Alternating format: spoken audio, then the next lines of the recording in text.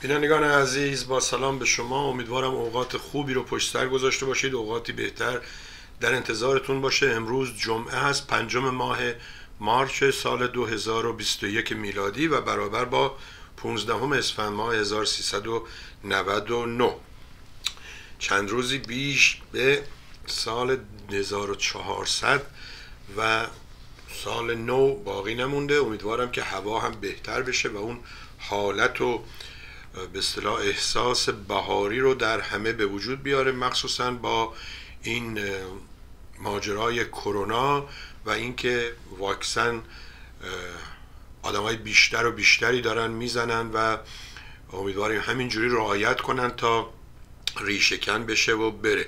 اگر امسال آمار فلو رو نگاه کنید خیلی کم بوده برای اینکه مردم تو خونه هاشون بودن رعایت کردن دستشون رو شستن نمی‌دونم ماسک زدن اگه مریض بودن سر کار نرفتن و الا آخر.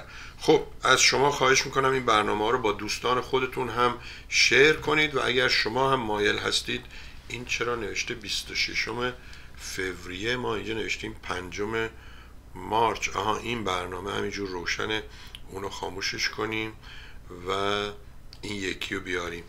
بله. دو تا انکودر یا دو تا پروگرام با هم روشن بود. یکی اون که بازپخش می‌کنه هر روز و یکی این که برنامه زنده پخش می‌کنه.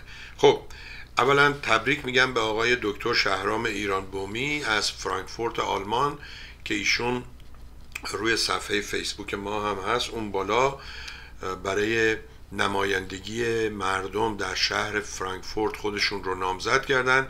انتخابات روز چهاردهم هست و امیدوارم که ایشون برنده بشه چون قلبش برای مردم میتپه و می‌خواد که یک کارایی رو برای مردم انجام بده و متاسفانه ایرانی ها حالا در آلمان تا اونجایی که من بودم و یادمه خیلی با انتخابات و اینها کاری نداشتن. البته اون موقع همه تازه وارد بودیم.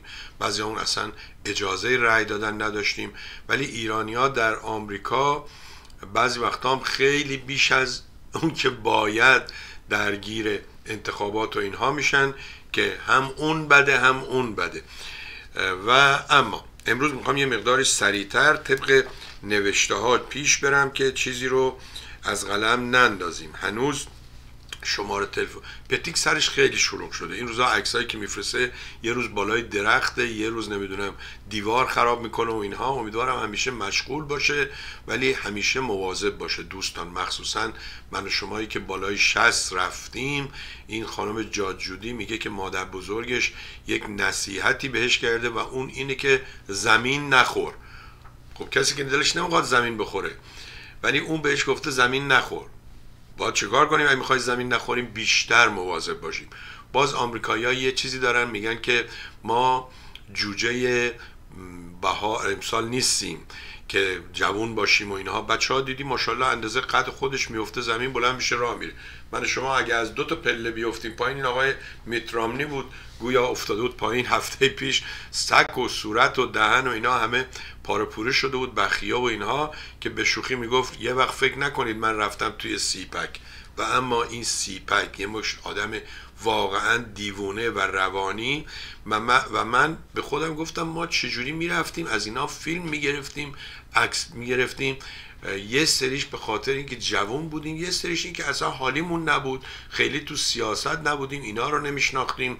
conservative political political activity هم چیزی. کانفرنس هر سال میان و امسال هم توی فلوریدا بود. این ترامپ شالاتان بالاخره بعد از تقریبا دو ماه آمد و حرف زد. باز یه, یه سری دروغ و من واقعا دلم میسوزه برای اونایی که این دروغ ها رو باور می‌کنن. مثلا این احمق شالا احمق که نیست شالاتانه این شالاتانی که به همه می‌گفت این ماجرای کووید دروغه و هوکس و فلان. خب اولا خودش که مریض شد. من خودش با زنش رفتن واکسن زدن. اونم که ژانویه. و آدم دروغگو آدم پس فطرت و باز آمد و گفت که گفتن که شاید بخوام من یک حزب سومی را بندازم. را نمیندازم دلیلش هم اینه که این ریپابلیکن ها خیلی به اصطلاح واقعا پس فطرتن رفتن دنبالش دوباره رفتن دیدنش و اینها و باهاش قرار مدار گذاشتن که آقا این سفره رو به اصطلاح جمع نکن بذار هممون بشینیم سر این سفره با هم بخوریم و با هم مردم رو بدوشیم و اینها. و اما آقای وهابی آها ماجرای پتیک. پتیک یه هندیمن هست یا به قول معروف مرد همه فن حریف که اگه شما احتیاج به کمک داشتید می‌تونه کمکتون کنه در کارهای ساختمون سینکشی لوله کشی و من دیدم بعض وقتا حتی نظافت و یعنی مثلا درخت و اینها رو بخواد ترتمیز کنه مرتب کنه این هیچ ابایی نداره و به کار کردن افتخار می‌کنه. اگر توی منطقه کالیفرنیا هستین توی منطقه اون لس آنجلس و اینها اگه احتیاج به کمک داشتید. حالا من سعی می‌کنم من می‌خواستم شماره تلفن و ایمیل آدرسی که اون خودش می‌خواد من بذارم. ولی اگر احتیاج داشتید با تلویزیون مردم تماس بگیرید. من برای اون ارسال می‌کنم که با شما تماس بگیره یا تلفنی یا از طریق ایمیل. و دیدم از هفته پیش وقتی که براش تکست ارسال می‌کردم. مینوشت که من در حال رانندگی هستم و جواب نمیدم به مجرد اینکه برسم به اون محل به اصطلاح برسم به مقصد بهتون جواب میدم. این کار پسندیده ایه راجع به لس آنجلس و اینا می‌دونید که هفته پیش یه سری بیچاره تصادف کردن. 25 نفر توی ماشین 8 نفره نشسته بودن. اینجا ماشین های SUV بزرگی هست. 8 نفره هست. سه تا عقب سه تا وسط دو تا جلو میشه. دو سه تا 6 تا و دو تا 8 تا. 25 نفر نشسته بودن.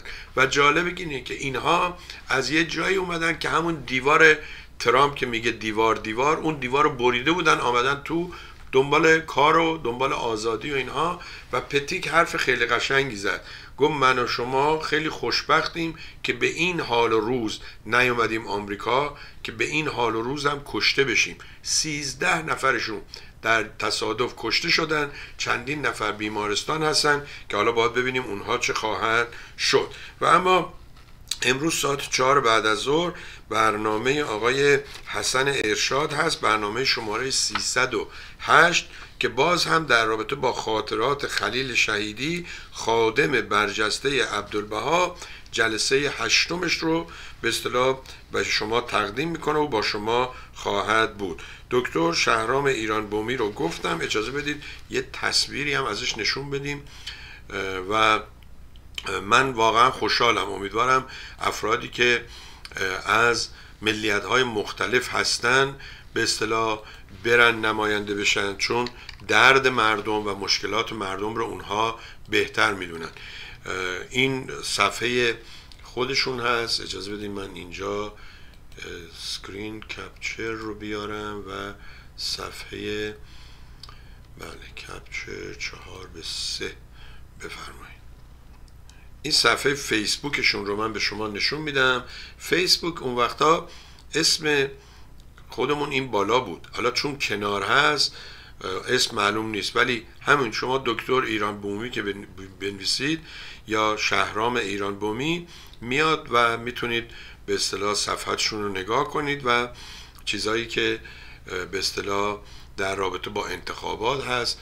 صفحه فعالی داره راجع به به اصطلاح روزهای مختلف. چقدر به اصطلاح به اصطلاح می‌کنم. سلام آقای زمانیان به شما.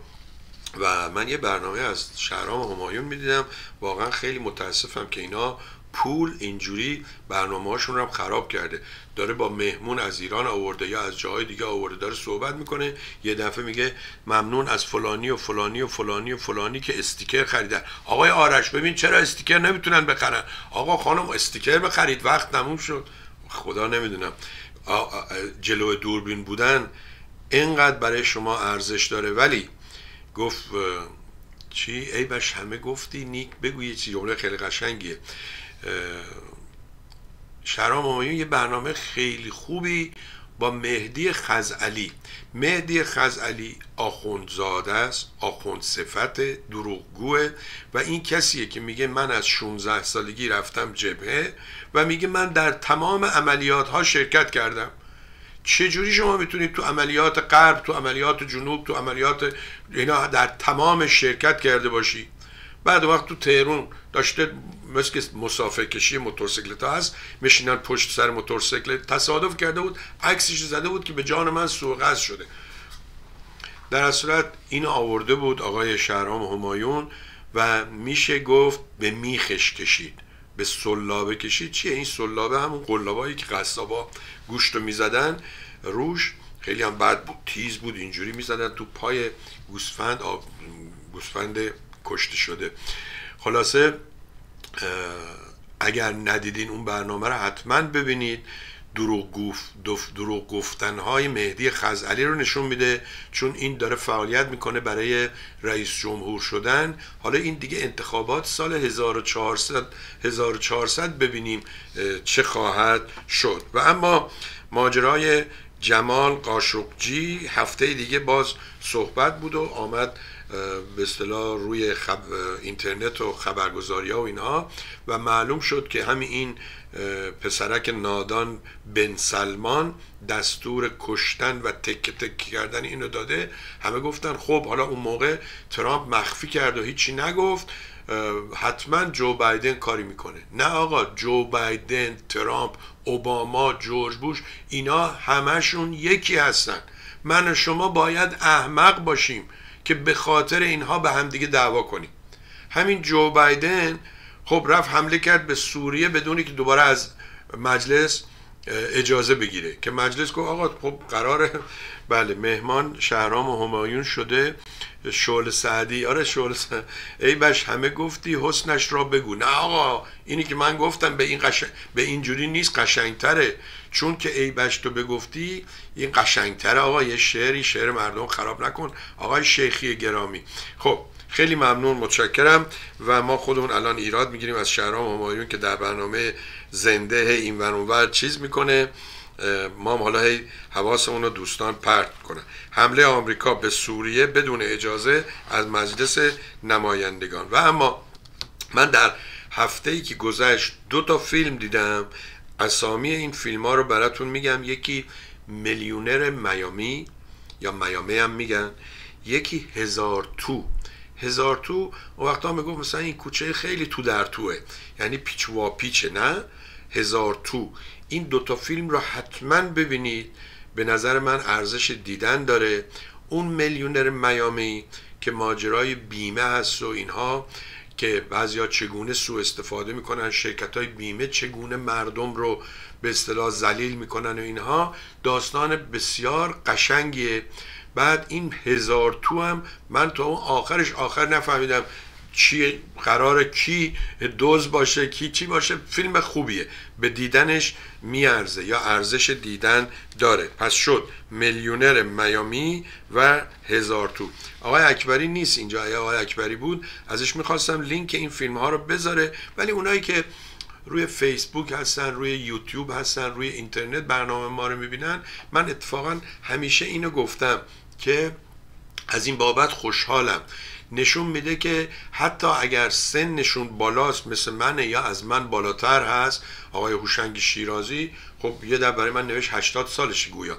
ولی اینا وای نسادن در جا بزنن. اینا با تکنولوژی جلو رفتن و از این نظر هست که من وقتی یه فیلمی رو اعلام می‌کنم می‌دونم دیگه حالا طرف اسمشو با انگلیسی هم بنویسه حالا بذارید بهتون نشون بدم. تو روی یوتیوب و اینا می‌تونه پیدا کنه. بذارید من الان میام اینجا صفحه کمرای دو بذارید. اینو آف کنم بهتون نشون بدم. ببینید میام یوتیوب. یوتیوب که میام می‌خوام این بالا باشه. به اصطلاح آقای انصاری دیدم یه برنامه گذاشته و حالا می‌بینم که اومده بالاترین برای من و ایشون چند سال پیش سال 2001 چون من 2003 از تلویزیون رنگارنگ جدا شدم. یا 2002 بوده یا 2001 ولی الان گذاشتن اینجا بخشی از مصاحبه احمد علی مسعود انصاری با آقای سربی درباره نحوه کمک های مالی آقا رضا پهلوی به که دنبالش رفته. ببینید شما وقتی میای تو یوتیوب این بالا که نوشته سرچ اینجا حتی می‌بینید به انگلیسی بنویسید. میلیونر میلیونر میامی. بله ببینید نوشت میلیونر میامی فیلم ایرانی. اون وقت بعضی وقتا وقتی می‌زنی این ساعت ها رو نگاه کنید. یکیش مثلا نشته دو دقیقه یکیش نشته سی و نه ثانیه. ولی این نگاه کنید یک ساعت و 24 دقیقه و 26 ثانیه. این یکی هست یک ساعت و 18 دقیقه و اینها. اینا رو نگاه کنید. این فیلمه هست که من بهتون میگم. اون یکی دیگه اون یکی دیگه گفتم چی؟ هزار تو. ببینید اینجا حتی به انگلیسی بازمین نیستیم. هزار تو. بفرمایید. هزار تو مووی. این فیلم جدیدتره و فیلم قشنگیه. باز حسین شهابی توش بازی کرده ولی من کاری به افراد ندارم. چون حسین شهابی با این کار واکسن و اینایی که انجام داد واقعا گندش رو در آورد و مردم کاری به سرش آوردن که از اینستاگرام رفت, بی رفت بیرون. این فکر کنم باید اینجوری باشه. ای به می جمله بگفتی هنرش نیز بگو. حالا من اینجا براتون می اون شعر رو کامل پیدا می‌کنیم با هم می‌خونیم. شعر بسیار قشنگیه. عیب می که بعضی میگن عیب می جمله بگفتی که معنی نمیده عیب می. عیب می بذارید با فارسی بزنم. اینجوریه. یه چیزی یاد بگیریم. عیب می جمله بگفتی. هنرش نیز بگو. فکر کنم مال حافظه نمی‌دونم. دیروز یکی برای از من یه شعری خواست در مال فردوسی بود که دین و شاه یکی هستن و اینها. بله نشته گنجور غزلیات حافظ عیب عیب می جمله جمله چو گفتی ببین میگم آقای شیخی باید درستش کنیم قشنگش کنیم. بیا اینم با خط خوب اینجا نوشته. همین شما یادداشت کن. بعدا بنویس. یه شعر نسبتا طولانی هست و قشنگ و این هست. حافظ. میگه که چی؟ ای به می جمله چو گفتی هنرش نیز بگو نفی حکمت مکن از بهر دل آمی چند. خیلی شعر قشنگ و با معنی هست. شهاب حسینی نه حسین شهابی. چه فرقی می‌کنه؟ همین که من که میگم شما بفهمی کیه؟ اون خودش ممنونم آقای زمانیان. میگه شهاب حسینی نه حسین شهابی.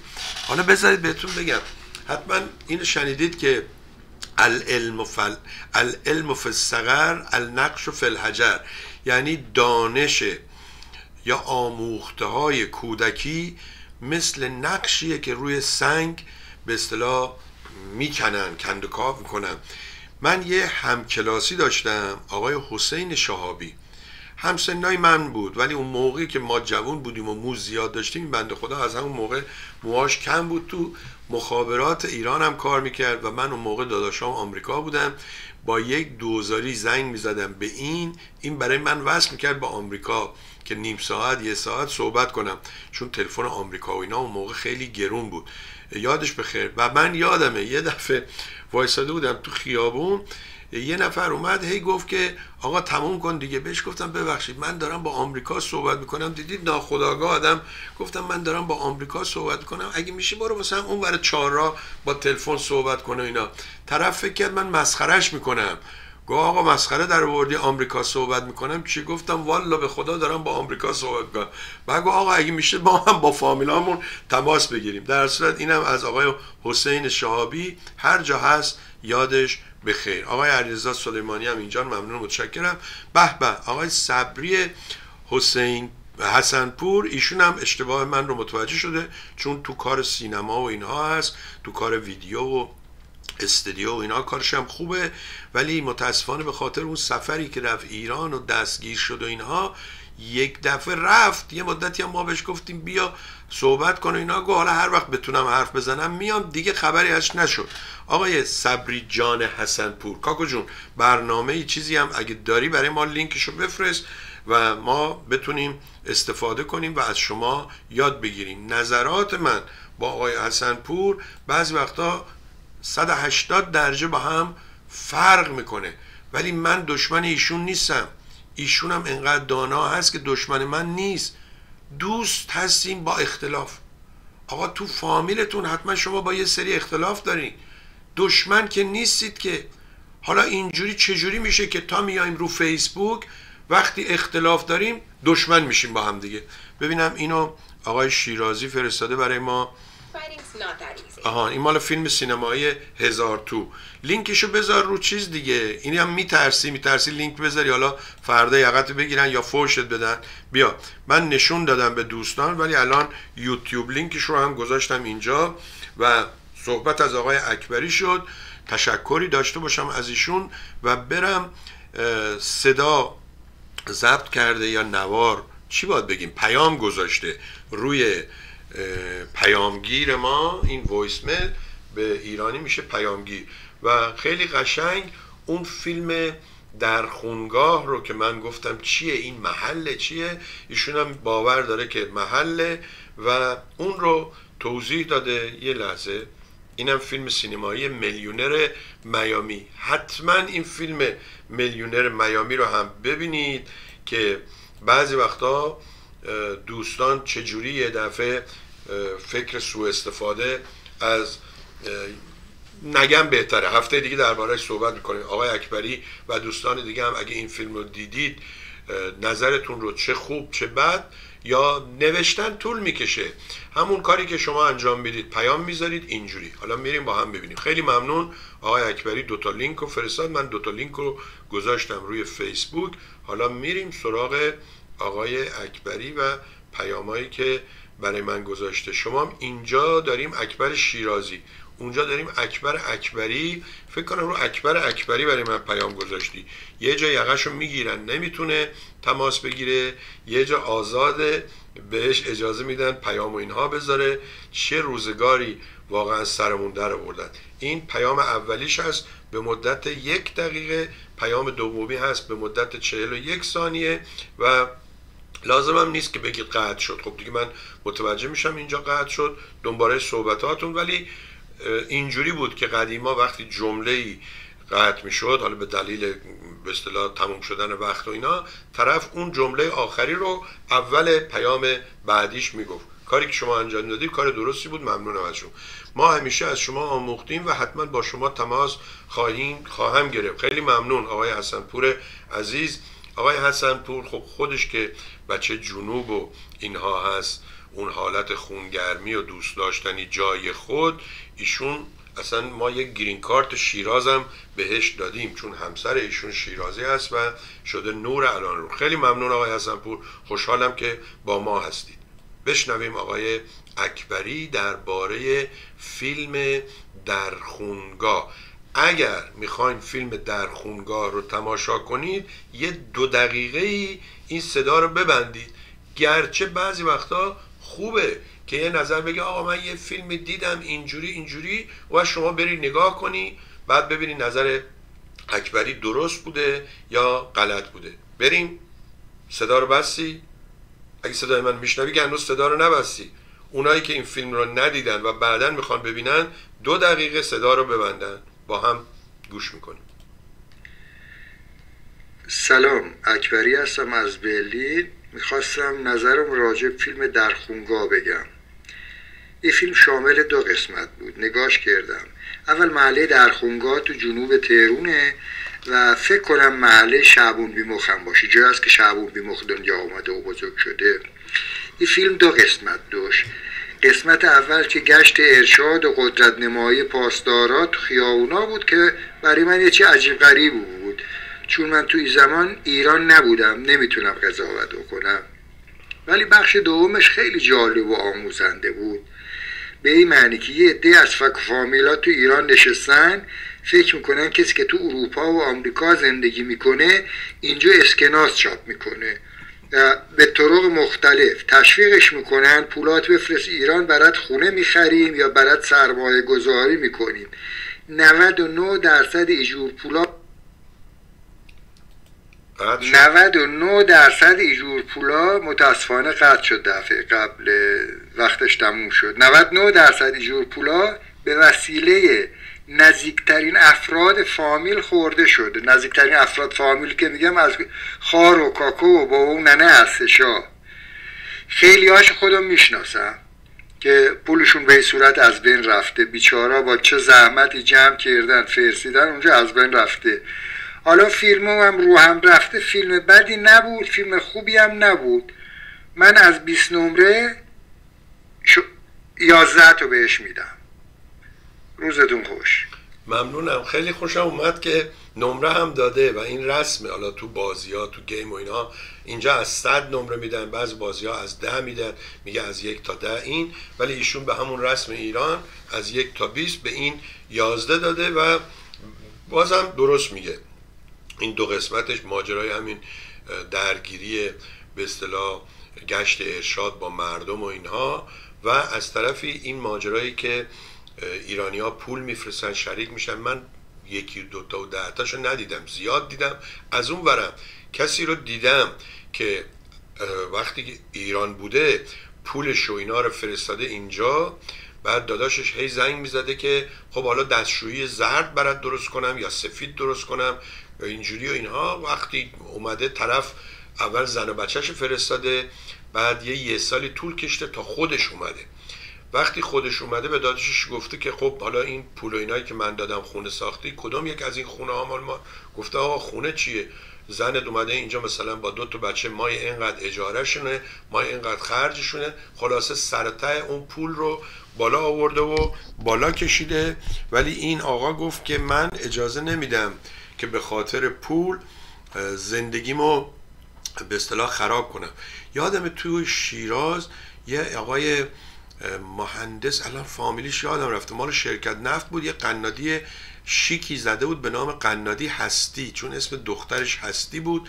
من اتفاقا گاهی وقتی هم می‌رفتم تو اون قنادی کار می‌کردم اسرا و اینها چون هم دوستمون بودن و این بند خدا وقتی تصمیم گرفته بود بیاد آمریکا پولاشو فرستاده بود داده بود به یه نفر تو شیراز که اون گفته بود برادر من مثلا آمریکان پول وقتی رفتی آمریکا بگی اینم بلند شده بود اومده بود آمریکا وقتی رسیده بود اینجا رفته بود در خونه طرف گفته بود آقا این آدرس پول اینا.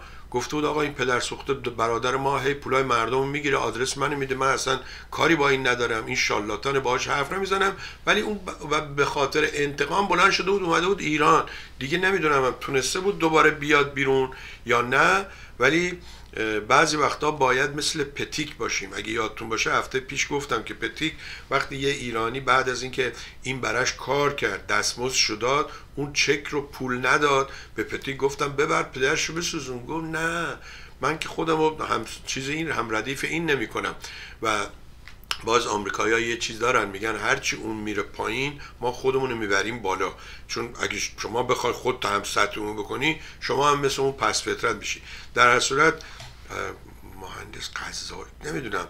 قنادی هستی رو داشت شرکت نفتم پتروشیمی کار می‌کرد. اومد آمریکا چون پوله رو نتونست از این داداش طرف بگیره برگشت اونجا که حالا بره پدر اونو بسوزونه.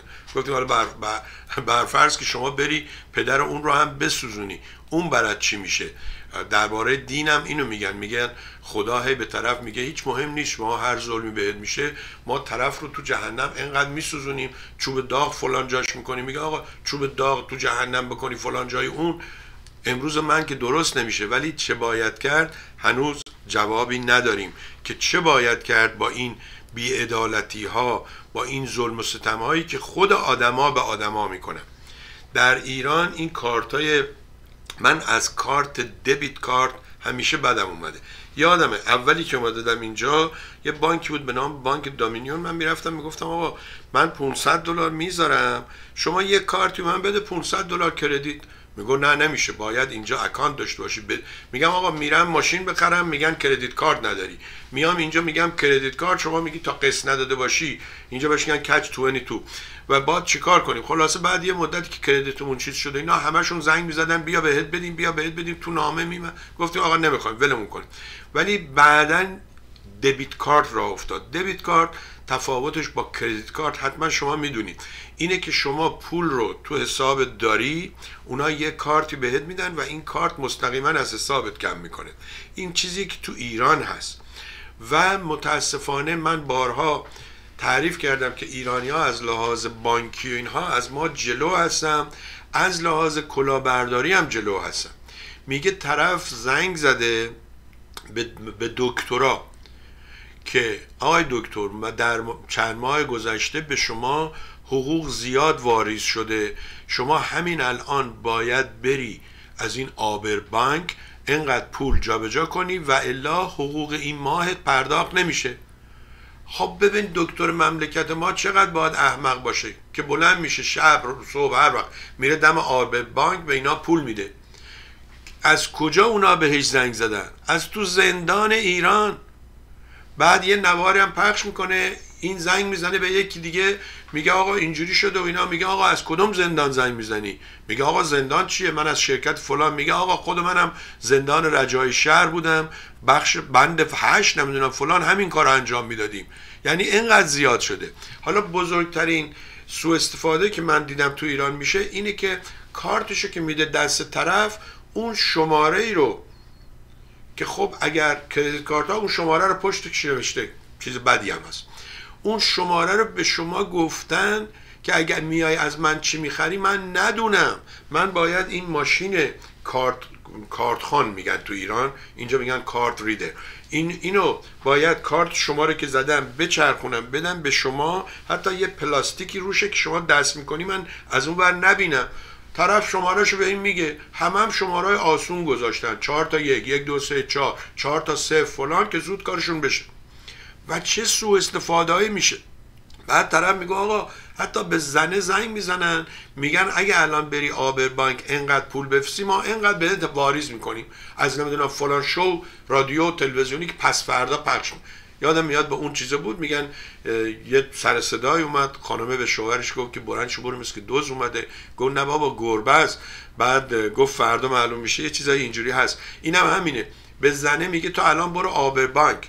پول بریز. ما جایزه میدیم این این شو تلویزیونم پس فردا پخش میشه. دیگه قرار نیست پس فردا پخش بشه. فردا این بیچاره می‌فهمه. این دو تا ماجراش بوده.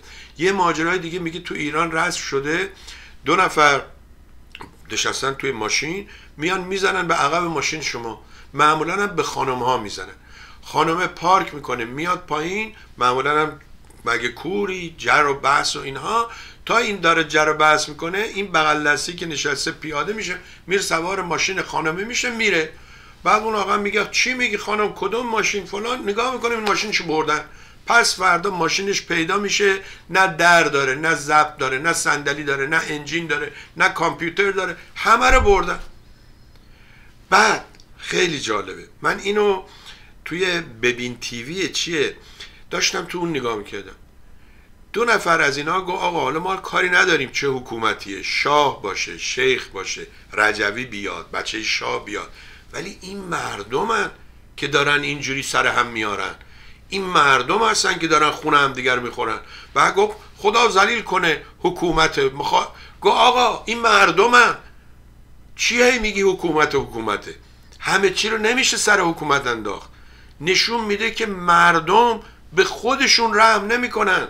وقتی شما می‌بینی مردمی داری که به خودش رحم نمی‌کنه چجوری انتظار داری حکومت ظالم دزد جانی بهش رحم کنه؟ شما این ماجرای سوخت برها رو ببین. اولا آقا سوخت بر داره کار قاچاق انجام میده. خود بنده دبیر هنرستان بودم. به خاطر کمپولی رفتم رانندگی تی بی تی رفتم زاهدان. اونجا که رفتم طرف اون راننده دیگه آقای محسن توری توری همچون. به من میگی سور جان اینجوری با نمی‌دونم 300 دلار بیایم و بریم دو شب اینجوری در نمیاد. باید 70 تا ماشین حساب بخریم ببریم شیراز بفروشیم. انقدر روسری اون وقتا روسری های روسی بود کجایی بود؟ خیلی قشنگ بود. بخریم ببریم بفروشیم. چایی بخریم ببریم بفروشیم. از بندر عباس دستگاه های ضبط و دیویدی پلیر بخریم ببریم بفروشیم. خب آقا اگه کسی قاچاق می‌کنه اگه خربازه می‌خوری پای لرزش هم مردانه شهامت داشته باش وایسا. اینکه شما اسم قاچاقچی رو عوض کنی بذاری سوخت بر. اسم قاچاقچی رو عوض کنی بذاری کول بر. این مشکل جامعه حل نمیشه. شما اگه راست میگی یه روز به تمام این کولبرا بگو من پولتون میدم. بیاین بریزین فلان شهر رو بگیرید. بیاین بریزید فلان شهر رو نمی‌دونم خیابونهاشو ببندید. نه اینکه هی اونا می‌کشن هی ما روی فیسبوک می‌نویسیم. آخه یکی دیگه رم یه بدبختی بلند شده نمی‌دونم تو کدوم شهرم بود. رفته بالای این دفعه رفته بالای این صندوقای چی چیه؟ صدقه وایساده و این برای سیستان بلوچستان برای بلوچستان اینایی که چیان داره داد می‌زنه. طرف میگه آقا بیا پایین میان می‌گیرن دلان اون یکی میگه نه آقا ولش کن فلان اینها. آخرش هم نقش بر زمین شده. امیدوارم نکشته باشنش چون صدای تیر میاد ولی اون پلیس اولی که اومد تیر هوایی زد. حالا نمی‌دونم چی شده. بعد مردم هم شعار مینیسن دوست خودمون. آقای سعید از کالیفرنیا مینیسه اگر افراد بیشتری میگم آقا نداریم. شما نمی‌تونی به همه مردم بگی شما باید شجاع باشی. شما نمی‌تونی به همه مردم بگی شما باید بیاید تو خیابون اعتراضات کنی. به خاطر همین کار رهبر اینجا معلوم میشه. که میاد تشخیص میده چه چیزی می‌تونه اکبری رو تو آلمان زمانیان رو تو ایران آقای صبری حسنپور رو تو هلند یا دانمارک هلند فکر کنم باشه اینجا سوربی رو تو آمریکا یه دست کنه که اینا برای یه هدف بیان بیرون. والا دوستون آقای نمی‌دونم بهرام چی چی اسمش؟ آبتین. میشینه آپتینیزم اون خانم نمی‌دونم ایرانبان میاد میشینه اون آقای فرزاد نیساری میان میشینن اینجا. خب چی میشه؟ هی هر روز شما بگو شنبه بیان بیرون. کسی که هنوز نمی‌دونه آقا مردم ایران شنبه سر کارن اقلا بگو جمعه بیان بیرون. اون وقت وقتی شما میگی مردم حقوقشون کفاف نمی‌کنه شما میگی شنبه بیا برای من بیرون. و شما کی هستی؟ چه قولی میدی؟ قول تو قبول دارن؟ برگردیم به آقای آقا ورق پاسور اونجا ارزون بود. به به به آقای تحمورس زمان. بابا امروز دیگه نور علانور شده. کرج بود. آها اون آقایی که رفته بود اون بالا کرج بود. فروشنده فروشنده بلند مشتری را صدا می‌زنه میگه شماره رمزتون چنده؟ اگرم نگی خود ملت حاضر در صحنه چپ چپ نگاه می‌کنن. این ببینی وقتی که یه جامعه هر چیزی رو راه غلطش رو استفاده می‌کنه. من اتفاقا توی سفرهایی که اروپا و این ور رفتم اومدم دیدم که شماها زودتر از ما شروع کردین. ما اینجا وقتی میریم شام می‌خوریم نهار می‌خوریم این کردیت کارت رو میدیم به طرف می‌بره. خیلی از اینا اون موقع می‌رفتن یادداشت می‌کردن حالا که دیگه از عکس می‌گیرن. عکس می‌گیرن فردا صبح که تو خونه نشسته سر کار نیست باهاش اوردر میده. من یادم چند سال پیش سال 2000 تو کار بیمه بودم. پسر یعنی نوه اون صاحب شرکت بیمه کردیت کارت من که قصه بیمه ماشین و موتورسیکلت رو داده بودم برداشته بود برای خودش کفش خریده بود. 60 دلار بود. خب ما هم چک می‌کنیم و پیدا کردیم و اون باباش هم گفت شکایتش نکنین پلیس میاد میگیردش و فلان اینا به اون داده. ولی اینجوریه. بعد من دیدم تو آلمان تو اروپا وقتی شما خوراک می‌خوری اینا طرف اون ماشینه رو میاره با اینترنت دیگه میاره مثلا شده 80 یورو. شما حالا تو آلمان و اینا خیلی تیپ نمیدن ولی اینا که از آمریکا میان معمولا عادت دارن. ما سرراست می‌کنیم می‌کنیم 100 دلار چون 20 درصد 15 درصد 25 درصد بستگی به سرویس تیپ میدیم اون وقت اون چهار رقم رو خودت می‌زنی. ولی تو ایران بقاله وایساده اونجا ماشینش هم روش یه پلاستیک از این مال خوراک ها زده که خاک و دستش که چربه نکنه. خب خانم چی چی رمزتون کارتتون یه چیزی اینجوری اونم میگن. درست میگی شما. خیلی ممنون. میگه که جناب سوری با سلام و عرض ارادت سوختبری غیرقانونی نیست. ساکنین مناطق مرزی تا 20 کیلومتر به مرز به مرز ماهانه 100 لیتر سهمیه سوخت برای فروش به آن سمت مرز دارد. در نتیجه سوختبری غیرقانونی نیست. همچنین هنوز مشخص نشده که تیراندازی به سوختبران از سمت ایران بوده و به احتمال زیاد از سمت پاکستان انجام شده. یه مش فیلمی نشون دادن یه مشت فیلمی حتی به سازمان حقوق بشر و اینا دادن که توی اون اینا میگن نشون داده شده از ایران بوده. بعد ببینید این سوخت بری که شما میگی غیر قانونی نیست. این مثل اینه که من بله وقتی هم میرم مسافرت میگن شما دو تا شیشه مشروب می‌تونی بیاری. غیر قانونی نیست به عنوان مسافر. ولی به این نمیگن مشروب بری. بعدم یکی نمیاد بگه مشروب بری غیر قانونی نیست. اگر من رفتم گفتم آقا من دو تا بوت تکیلا آوردم اونجا خریدم 5 دلار اینجا دونه 40 دلاره. خب چرا دفعه دیگه 20 تا نیارم؟ اون وقت همین مشروب بری رو من قاچاقی دارم انجام میدم. هر چیزی که بالای قانون باشه. اگه قانون بده مردم باید عوضش کنن. و الا تا زمانی که قانون اینه باید یا رعایت کنن یا دارن کار غیر قانونی انجام میدن. وقتی هم شما کار غیر قانونی انجام میدی ما خودمون هر روز اینجا کار غیر قانونی انجام میدیم. اسپید لیمیت محدودیت سرعت میگه 55 مایل. ولی ما 80 تا میریم. چپ و راست هم بهمون تیکت میدن. تیکت های 200 دلاری 250 دلاری قشنگ میدیم. عین خیالمون هم نیست. ببینید من اینو میگم. ولی اون آقایی که میاد می‌خواد سوخت بری رو به عنوان اینکه اینا از زوره نداری این کار می‌کنن آقا اینجوری نیست. اولا سود همه اینا برمیگرده میره اتفاقا تو جیب همونایی که دارن. دیدم آقای حسین بور داشت راجع به این می‌گفت که خود سپاه پاسداران خودش بزرگترین سوخت بره سوختبری می‌کنه می‌بره میاره و این مشکل از قدیمم بوده. از همون زمان شاه هم وقتی که بنزین 100 لیتر 100 لیتر گازوئیل 24 تومن بود یعنی 2008 شایی هر لیتری بود خب این ارزونتر از اونجا. چه کار باید بکنن؟ باید همون مثل یارانه بدن. مثلا به پدر من بگن تو که کامیون داری تو اونجا همون لیتری یه تومن بخر. حالا یه تومن من میگم مردم میخندن بنزین سه هزار تومن این فلان. همون یه تومن بخر. ولی آقای پیروی پیمونکارت بر اساس راهی که رفتی به جای مثلا ده هزار تومن بهت بده یازده هزار تومن. هزار تومنش اون پول بنزینه پس باشه. که اینجا اگه کسی هم از خارج می‌خواد بیاد بنزین بخره ببره برایش سود نداشته باشه. بگه داخل یه تومنه من بیام بردارم ببرم لب مرز کلیش میپره. Evaporate. کلیش واقعا میپره بنزین. اوکی؟ بعد تازه اونجا بدم مثلا دوازده هزار نمیصرفه. باید اینجوری باشن نیست. چرا؟ دولت اصلا وقت نداره این فکرها رو بکنه. دولت خودش داره از این کارها پول می‌سازه. دولتی که داره وسط دریا قاچاق بنزین و نفت می‌کنه خب این معلومه که نمی‌تونه. ولی مردم مردم هم سودجو هستن. همه فکر اینن که امروز بره موتور چوپا بود. چی بود؟ موتور چوپاش رو تبدیل کنه به نیسان آبی.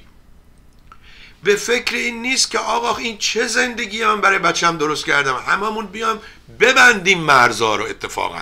مرزا رو ببندیم که اون سپاهی اون آخوندم نتونه بنزین ببره بیرون.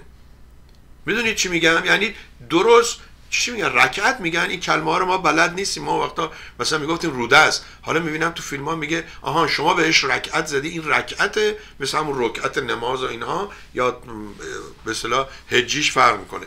در هر صورت نمی‌دونم آقا. من اگر بلد بودم این چیزها رو که می‌رفتم یعنی اگر انقدر پلید بودیم می‌رفتیم تو کار سیاست.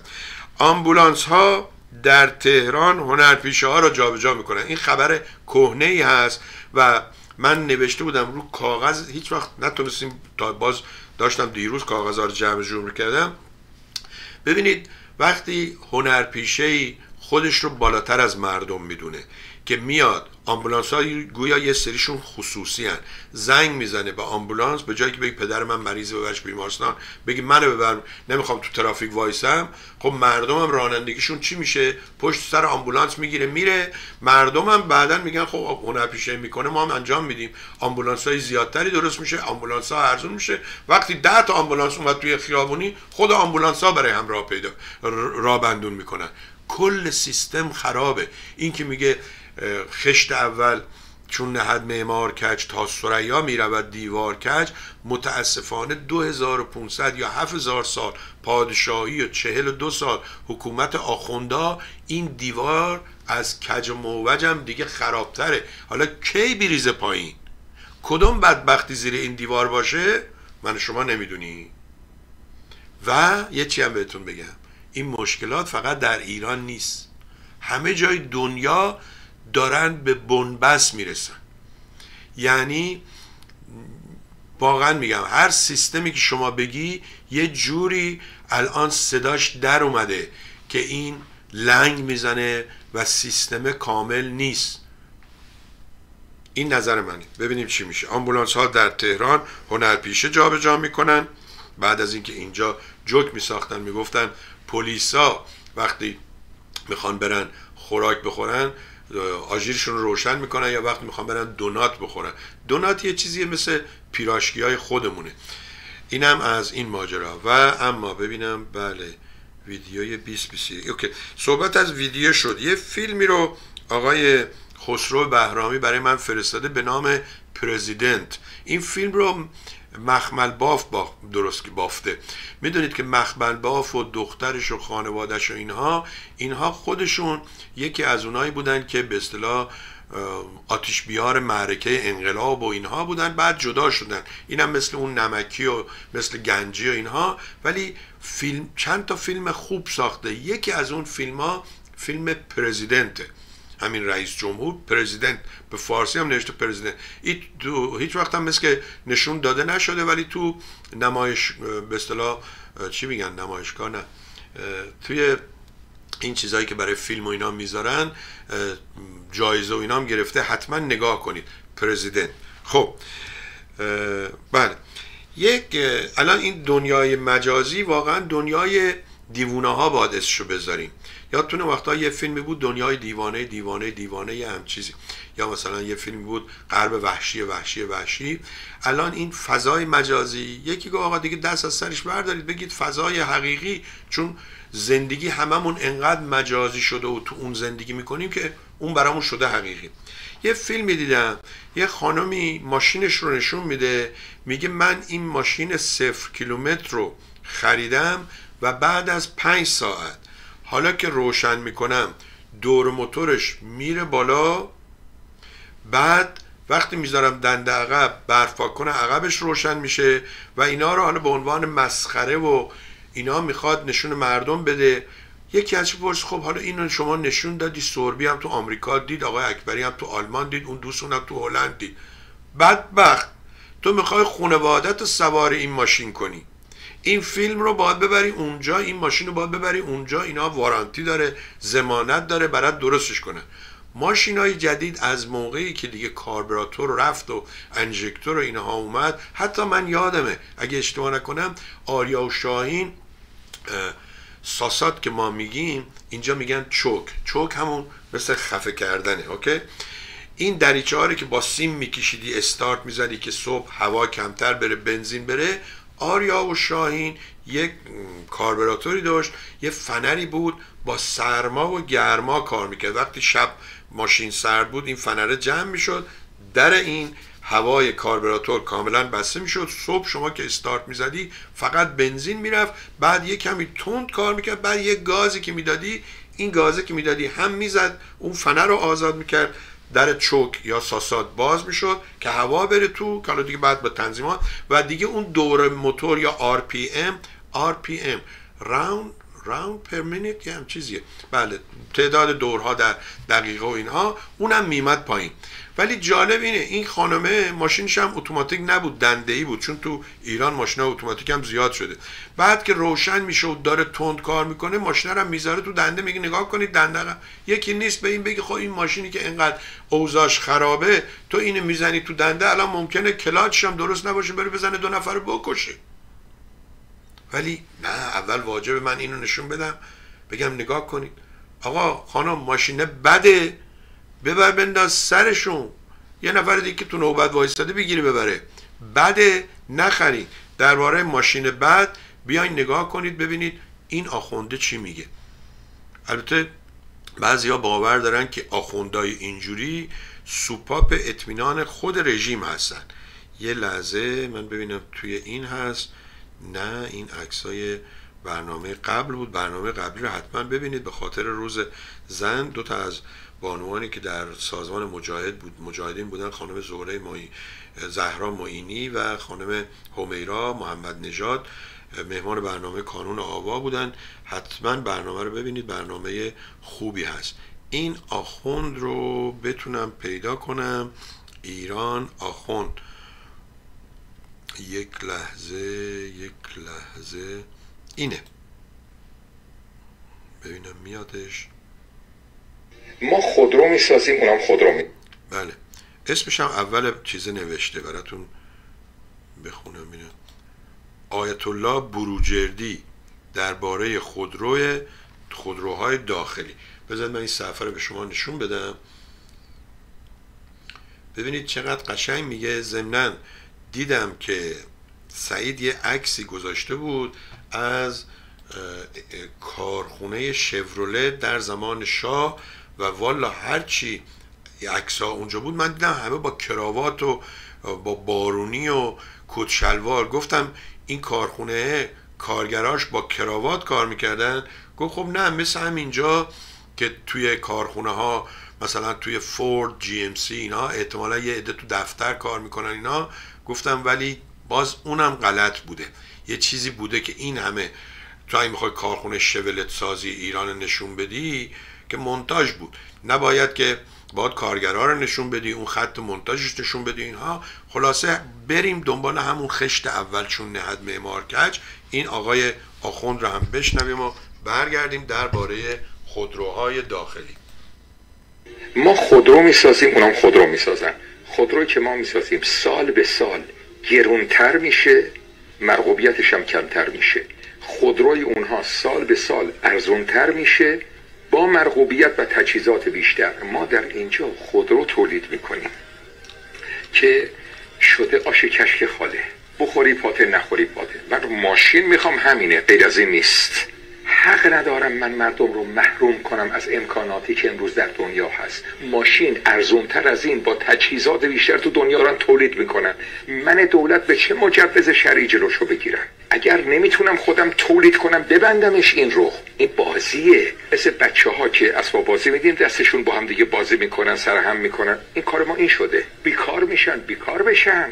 مگه میشه سرمایه مملکت رو همینجوری حقوق داد برای هیچی؟ ده سال دیگه صنعت خودروی ما چی هست؟ چی هست صنعت حرف حساب نظرتون راجع به این چیه؟ نظرتون راجع به قاچاق و سوخت برای اینها چیه؟ نظرتون راجع به استفاده و سوء استفاده از کارت های اعتباری یا کارت های بانکی؟ چون اونا اعتباری نیست. نمی‌دونم. هنوز کردیت کارت و اینا تو ایران هست که اعتباری باشه؟ و دوستان من اینو برای خیلی ها فرستادم اینجا به شما نشون بدم. گفت هر کی ازتون پرسید چرا آمریکا برای سقوط آخوندها اصراری ندارد این عکس رو نشونش بدید. بفرمایید. این عکس رو قبلا هم من کاریکاتور بالاش بهتون نشون دادم که آخوندا ببینید عروسک مترسک هرچی که میگی بادیه که زیر پای این آمریکا از این بادگیرا هست این بادش می‌کنه این بزرگ میشه. از ایران قشنگ بذار یه بار دیگه بهتون نشون بدم. از ایران اون ور خلیج فارس موشک و اینها نشون عربا میده. عربا میدون پولاشونو میدن اینجا. این روی این میز هم پر اسباب بازی هست. بذارید ببینم. این بیاد این ورتر. بله. اوکی. پول این میز هم گفتم اسباب بازی ببخشید. پول این روی این میز پر وسایل جنگیه. از توپ و تانک و نمی‌دونم چیز گرفته تا الی آخر. این دلیلشه. حالا شما هی بگو که چرا آقای جو بایدن نمی‌دونم بن سلمان رو گوشمانی نکرد. آقا اگه گوشمانی کنه فردا بنزین میشه 5 دلار بنزین بشه 5 دلار. مردم آمریکا میریزن تو خیابون. جو بایدن رو می‌خوان تیک تیکه کنن. مگه همین دو ماه پیش نبود؟ دقیقا میشه دو ماه پیش. چون ششم ژانویه بود امروز پنجم مارچ. دو ماه پیش مگه نرفتن می‌خواستن خیلی جالبه. طرفدارای ترامپ رفته بودن می‌خواستن به اصطلاح معاونش رو بکشن اعدام کنن. ولی همون معاون احمقش میگه من به خدا باور دارم همین هفته ای که گذشت. من به خدا باور دارم و این ترامپ مرد خداست. مرد خدایی که اگه جرأت داری یه ساعت زن تو بذار پهلوش. آقای مایک پنس. اینم از این. این بلنگورم بیارم اینجا. یه ویدیوی دیگه هم دارم. یه آخوندیه. اونم قبلا خیلی حرفای خوب می‌زد تا اینکه با سنیا در افتاد و به اصطلاح حرفایی که زد یه مقداری مسخره بود و اینها. فکر کنم آقای دانشمند باشه. حالا من ببینم می‌تونم پیداش کنم. بله اینجاست. ببینم همینه. اشتباه نمی کنم یه لحظه. هر سال میره مکه. هر سال میره عمره. چه خبره؟ واجب یه بار. حج یه بار واجبه. چقدر میرید مکه؟ چرا میرید یک میلیون و نیم خرج می‌کنید پولا تو حلقوم این وحابیای عربستان میریزی که تمام این پولا گلوله بشه تو سینه شیعه خرج بشه. چرا اینقدر گردنی عربا رو کلوف می‌کنی؟ چرا اینقدر گردنی وهابی ها رو کلوف می‌کنی؟ چرا پول رو میرید خرج عربستان می‌کنی؟ تو یه بار رفتی مکه بشی سر جا. دیگه اگه قرار شد آدم بشی می‌شدی. پس حالا که آدم نشدی صد بار دیگه هم که بری آدم نخواهی شد. پولا به خرج عربا نکن. مکه ما جوانهای جامعه ما. حرم ما جوانهای جامعه. خب حالا این میگه اولا این مثل که قدیمیه چون یه میلیون و نیم که اصلا تو فکر نمی‌کنم الان از تهرون بتونی حتی بری به قم و شیراز برسی. ولی من فکر می‌کردم حالا که این خمینی اومد و اینجوری با عربا به اصطلاح سر چیز کرده. اولین کاری که می‌کنه اینا رو تعطیل می‌کنه. بعدم میگه هر کی می‌خواد کاری بکنه یه مدرسه ای یه توالتی یه دستشویی یه امکاناتی برای کوچت اون خیابون. بعد دیدم اه صفا شد صف پنج ساله نوبتا شد. دیگه سوریه و این کورکچل های دیگه هم اومدن برای زیارت و فلان اینا. در صورت اینم باز میمونه چه باید کرد؟ من نمی‌دونم. اجازه بدید من این آخوندرم پاک کنم. عکسای بسیار زیادی اینجا گذاشتم ولی یه عکسی خیلی جالبه این عکس رو ببینید. اونایی که خیلی فکر می‌کنن هجاب برای مردا نمی‌دونم لازمه چون مردا نمی‌تونن خودشون رو کنترل کنن و اینها. شما به من بگو اگر از اون مردا هستی حالا یه زن بی هجاب رو که می‌بینی بیشتر حالی به حالی میشی. یا این خانمی که حتی معلوم هم نیست زن مرده ولی این برآمدگیاش اینجا اینجوری اینجا اینجوری و الا آخر. اینم باز برمیگرده به همون ماجراها. ضمنا یه نوشته خیلی قشنگی خوندم.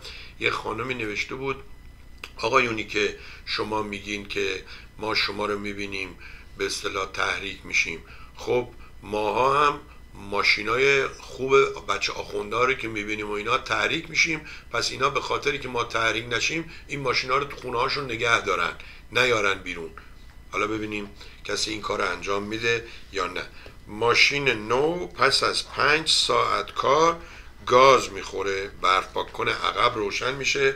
موقعی که به اصطلاح دند عقب می‌ذاره و به نظر من این کاری که این خانم انجام داد کار خیلی خطرناکیه. خب و اما تست کرونا با موتورسیکلت. می‌دونید که خیلی از شرکت های هواپیمایی گفتن شما وقتی می‌خوای مسافرت بری باید تست کنی و این تستت کهنه تر از هفتاد و دو ساعت نباشه. حالا ایران هم که از همه جلوتره.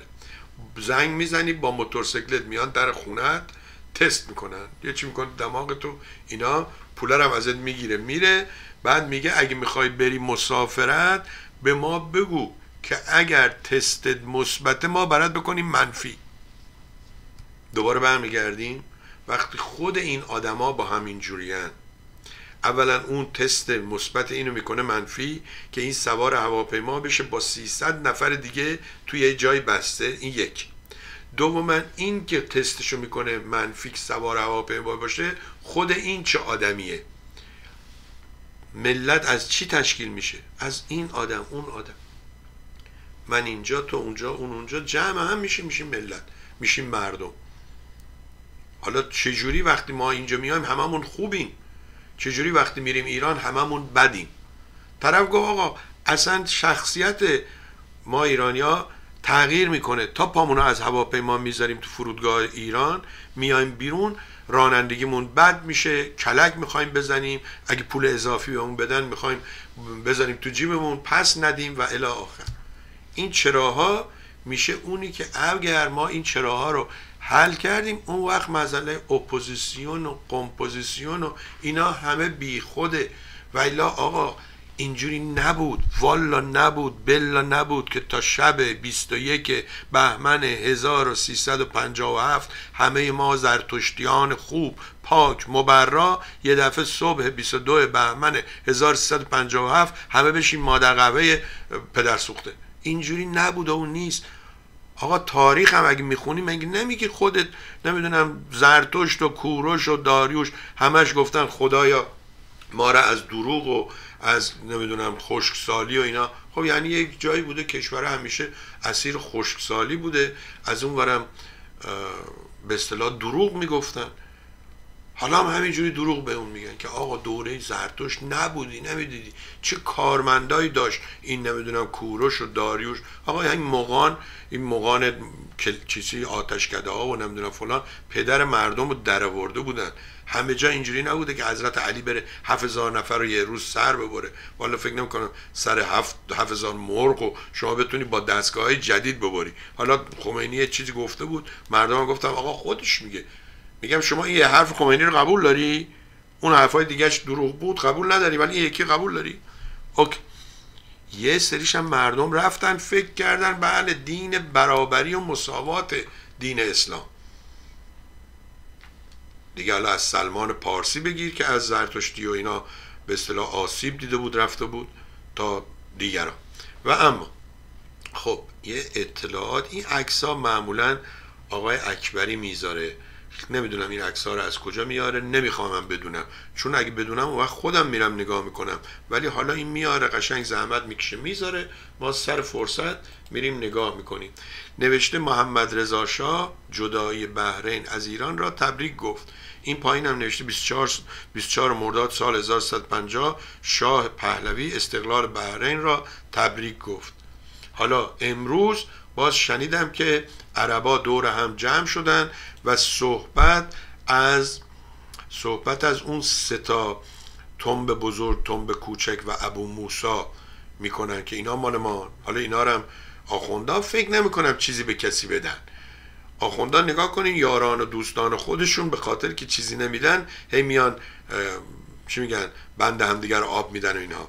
یاد دوران شعر خوب خواننده و آهنگساز خوب به خیر حالا سسی مانکن چی بگم؟ افسوس. ببین آقای زمانی ها من اصلا نمی‌خوام راجع به این صحبت کنم برای که همه دارن راجع بهش صحبت می‌کنن. یعنی درست همون کاری که این می‌خواد به این وسیله معروف بشه که من و شما راجع بهش صحبت کنیم. یکی بیاد بگی اینا دارن راجع به کی میگن؟ اون زنه نمی‌دونم کیه برن دنبالش. این چند مدت پیشم گفت از ایران برگشته و نمی‌دونم تو فرودگاه عکس گرفته و فلان. اینا یه مشت آدمی هستن اینا مثل فواره هستن. میان بالا و می‌دونه که این سرنگون میشه. تا این چند روزه که اون بالا هست می‌خواد هر چی می‌تونه به اصطلاح حالا شور و هیجان یا از همین دو سنت دو سنت از اینستاگرام یا از تبلیغ و فلان در بیاره. من و شما نباید کمک کنیم به اینا. این همین اشتباهی بود که آمریکا انجام داد. نادانسته کمک کرد به ترامپ. ترامپ رئیس جمهور شد. شما الان نگاه کن یه آقای هست. بهتون گفتم آقای لغمان. خیلی قشنگ می‌نویسه. اونم رفته تو این. دیگران صفای دیگر رو نگاه کن. همشون گفتن این بده فلانه برای رفتن آقا ولش کن. خب بده ولش کن. برو بشین دو تا فیلم نگاه کن. راجع به اون فیلمه با دوستت صحبت کن. دوستان حتما دیدید که من راجع به سوء استفاده افراد از این پدر و مادرای بیچاره ای که بچهشون اعدام شده یا زندانه و به اصطلاح یه سری حالا بعضیا واقعا با حسن نیت ولی بعضیا هم با سوء نیت. شما این عکس نگاه کنید قیافه مادر نگاه کنید عکس فرزندش هم نگاه کنید بعد ربط این خنده رو به من بگید. درسته بعضیا ممکنه کلا صورتشون به همیشه حالت خنده داشته باشه. ولی همونم بالاخره اگر بذارید من می‌خوام این از نزدیکتر به شما نشون بدم. کپچر چهار بس.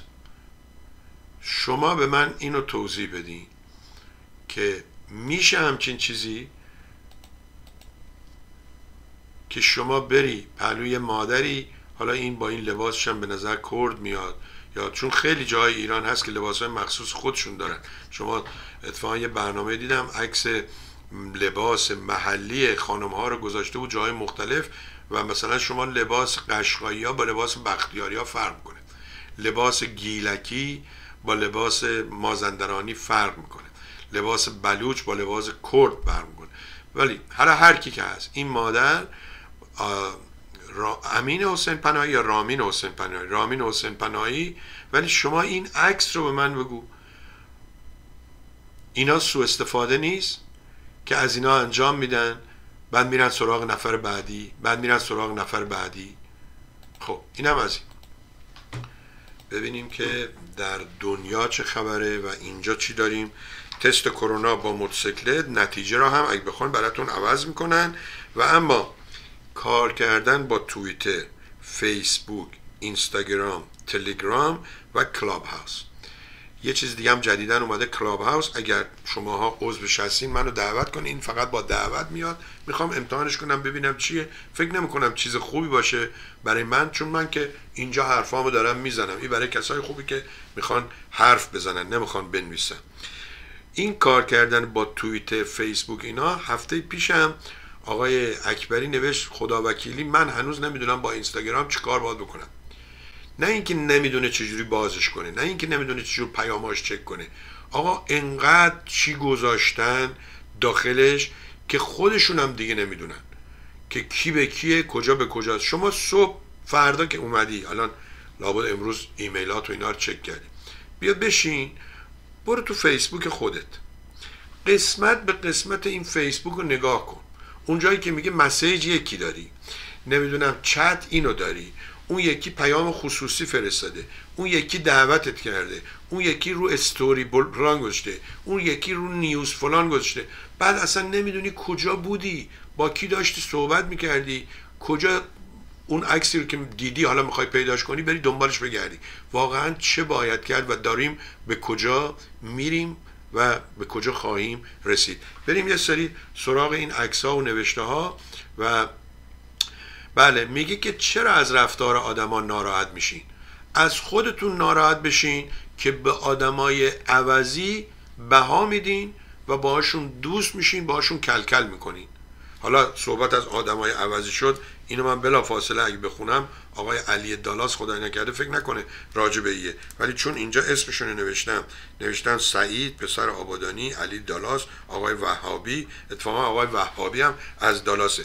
آقای وهابی همونجوری که من هفته پیش به شما گفتم شما اشتباه شنیدی. هر جا که این خبر رو به شما دروغ گفتن از الان یک کمی فکر کن که این خبر رو اگه فلان تلویزیون ایرانی گفته دیگه بهشون اطمینان نکنم.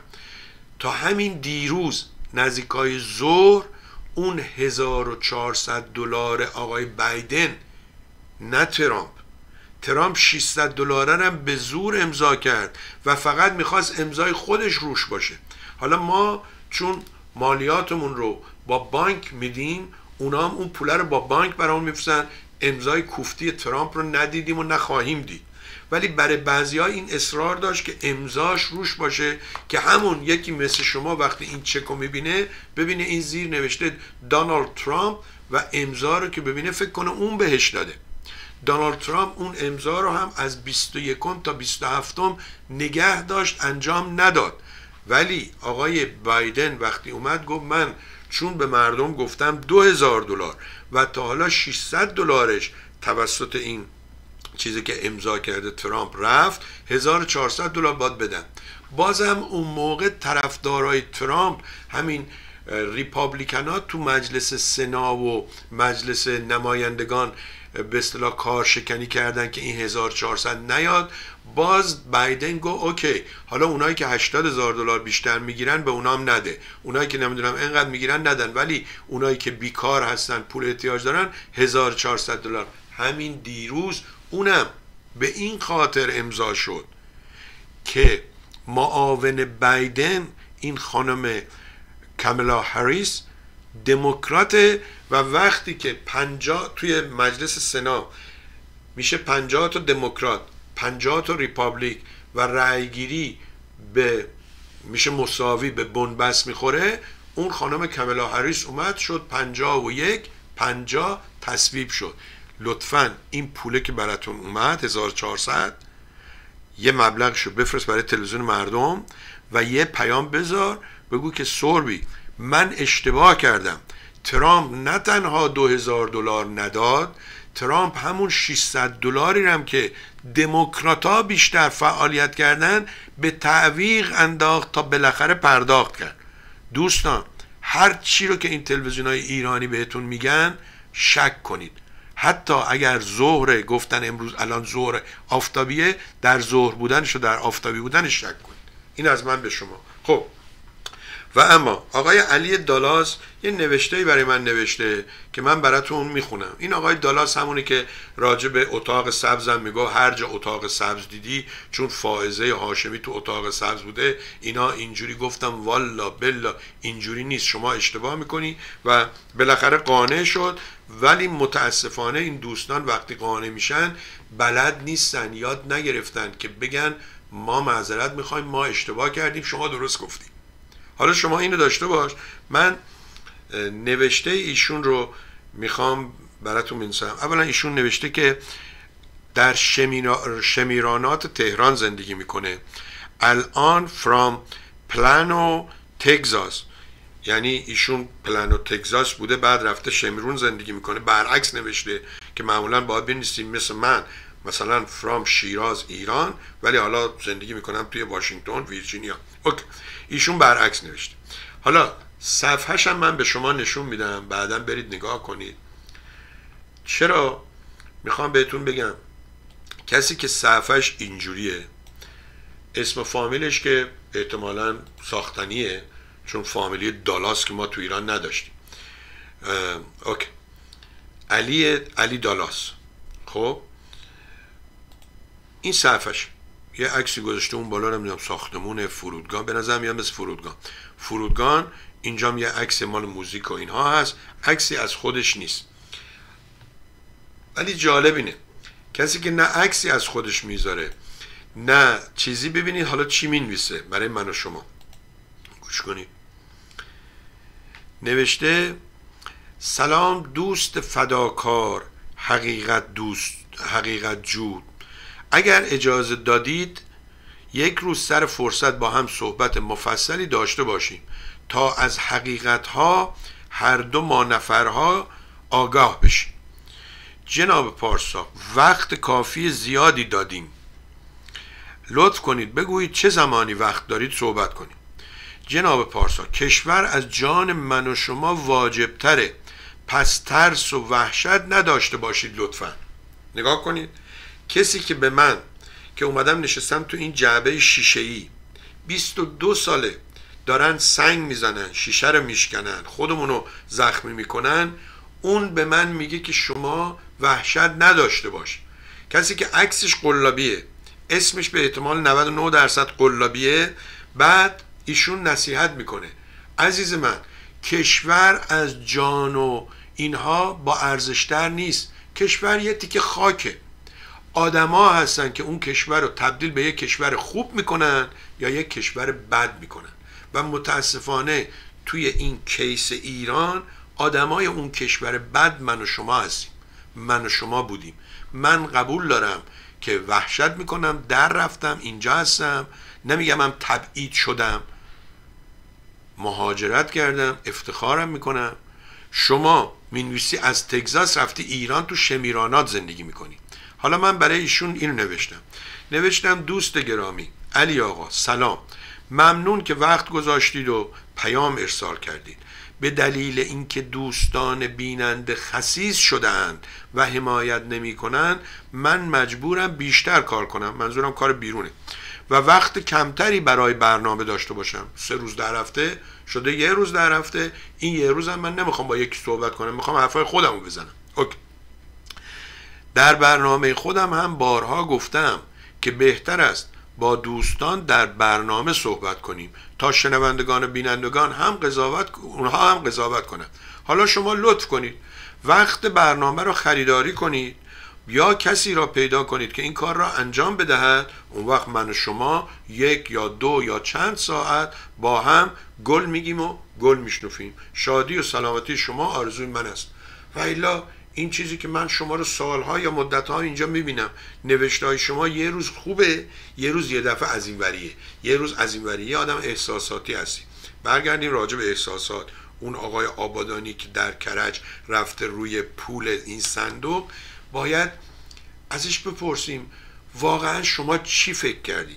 فکر کردی الان که رفتی روی این صندوق وایسادی اونی که می‌خواد بره ماشین اون خانمه رو بزنه تو کونش ورداره بره اونی که می‌خواد بره دزدی کنه کردیت کارت و کارت اعتباری یکی بگیره اون وای میسه و میاد همراه شما میشه. گیرم که شد. شدین پنج تا شدین ده تا شدین صد تا شدین هزار تا. می‌خواین چه کار کنین؟ آمریکایی‌ها میگن دن وات. بعدن چی؟ شما میای به من میگی آقا بلند شی بریم لاس وگاس امشب یه نمایشی مجانی. من میگم ببین اصلا از قبلشم میگم خب حالا پول بلیتش که میده؟ حالا رفتیم اونجا نمایش هم دیدیم مجانی. بعد میایم بیرون می‌خوام کنار خیابون بخوابیم. دن وات. بعدش چی؟ آقای فرزاد نیساری بعدش چی؟ بنویسیم تهران را بگیریم و بعدش چی؟ شما فکر می‌کنی اگه شما بشی مسئول تهران همه باید همکاری می‌کنن؟ اگه باید همکاری نمی‌کنن چجوری می‌خوای مردم رو راضی نگه داری؟ امروز باز یه نفر نوشته بود شما یه نفر رو اسم ببرید که فکر کنید این مردم میان مثلا سی درصد دورش. واقعا فکر کنید. فکر کنید سی درصد مردم ایران میان دور رضا پهلوی سی درصد مردم میان دور مسعود رجبی. سی درصدش میان دور آقای نوری علا سی درصدش میان دور آقای اگه اینها رو که بشماری ما باید میلیون ها درصد داشته باشیم تا تیک تیکش کنیم سی درصد سی درصد به این اون. اوضاع به حدی خراب شده و چی تو این 42 سال اپوزیسیون قمپوزیسیون به حدی خرابکاری کرده. همین آقای صبری حسنپور اگه باشتش یه روز بیاد. من بهش گفتم گفتم آقا پول این گول این دکتر مکترا رو نخور که الان دارن میان هی از برنامات استفاده می‌کنن هی به و چه چه میگن. اینا فردا اگه یه بلای سرت اومد یه دلارم برات یه دونه چی بیسکوت نمی‌خرن سیگار نمی‌خرن بیارن زندان. و همین شد. به خاطر اینا رفت ایران و زندان افتاد. بعدم اومد دید ایداد بیداد اونا همشون مهمونی هاشون و جشنشون و اینا دور هم بوده و هیچ اتفاقی نیفتاده. آقا نکنین. چهار نفر پیدا کنید که ازتون ایراد بگیره. چهار نفر پیدا کنید. اصلا توی این یادتون اون وقتا تو شیراز مثلا میگو امشب مانور هوابرد هست و شهربانی و نمی‌دونم فلان اینا. یه عده از خودیا به عنوان دشمن میان. فوتبالیستا می‌دونن. یه عده می اومدن مثلا تیم برق شهردار اگه می‌خواست بازی داشته باشه یه حالا یه تیمی که انتخاب می‌کردن از جایی بیاد مسابقه به جای خودش. ولی یه چند بار خودشون پیرنهای مختلف رنگ مختلف میپوشیدن به عنوان تیم مقابل تیم حریف. ولی نمی‌تونن. آقای فرزاد نیساری دوام نیاورد.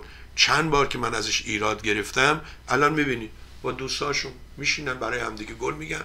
فرهیخته فرهمند نمی‌دونم بانو کد بانو. خیلی خوش آمدید. درود ورود درود خروج. فردا هممون بریم با بچه هامون مهمونی. یکی نیست بگه آقا یکیتون یکیتون حاضرین. ریسک کنید مثل قطب زاده برید ایران. مثل همین سازگارا برین ایران. مثل کیا بودن دیگه رفتن؟ مثل اون صادق خوشگله صادق چی بوده اسمش؟ همشون هم مردن بدبختا. نیست. کار کردن با توییتر و فیسبوک رو اینستاگرام و اینها و کلاب هاوس اگه کسی عضو هست چیز کنه؟ چون متاسفانه کلاب هاوس مثل که با دعوتنامه باید شما عضو بشید. و اما تصادف دروغی دزدیدن ماشین و در رفتن و ماشین شما سر از اسقاطی شدن بیرون آوردن. همینجا دوستان در همین آمریکا یه گزارشی بود اتفاقا اون آقایی هم که گرفتن من میشناختم و براش یه مدت کار می‌کردیم. آقایی هست به نام بانک. فامیلیشون بانک. اینا این توتراک تو ایران هم الان دیگه میگن توتراک. این جرسقیلو کوچولو هست. می اومدن توی شاپینگ سنتر.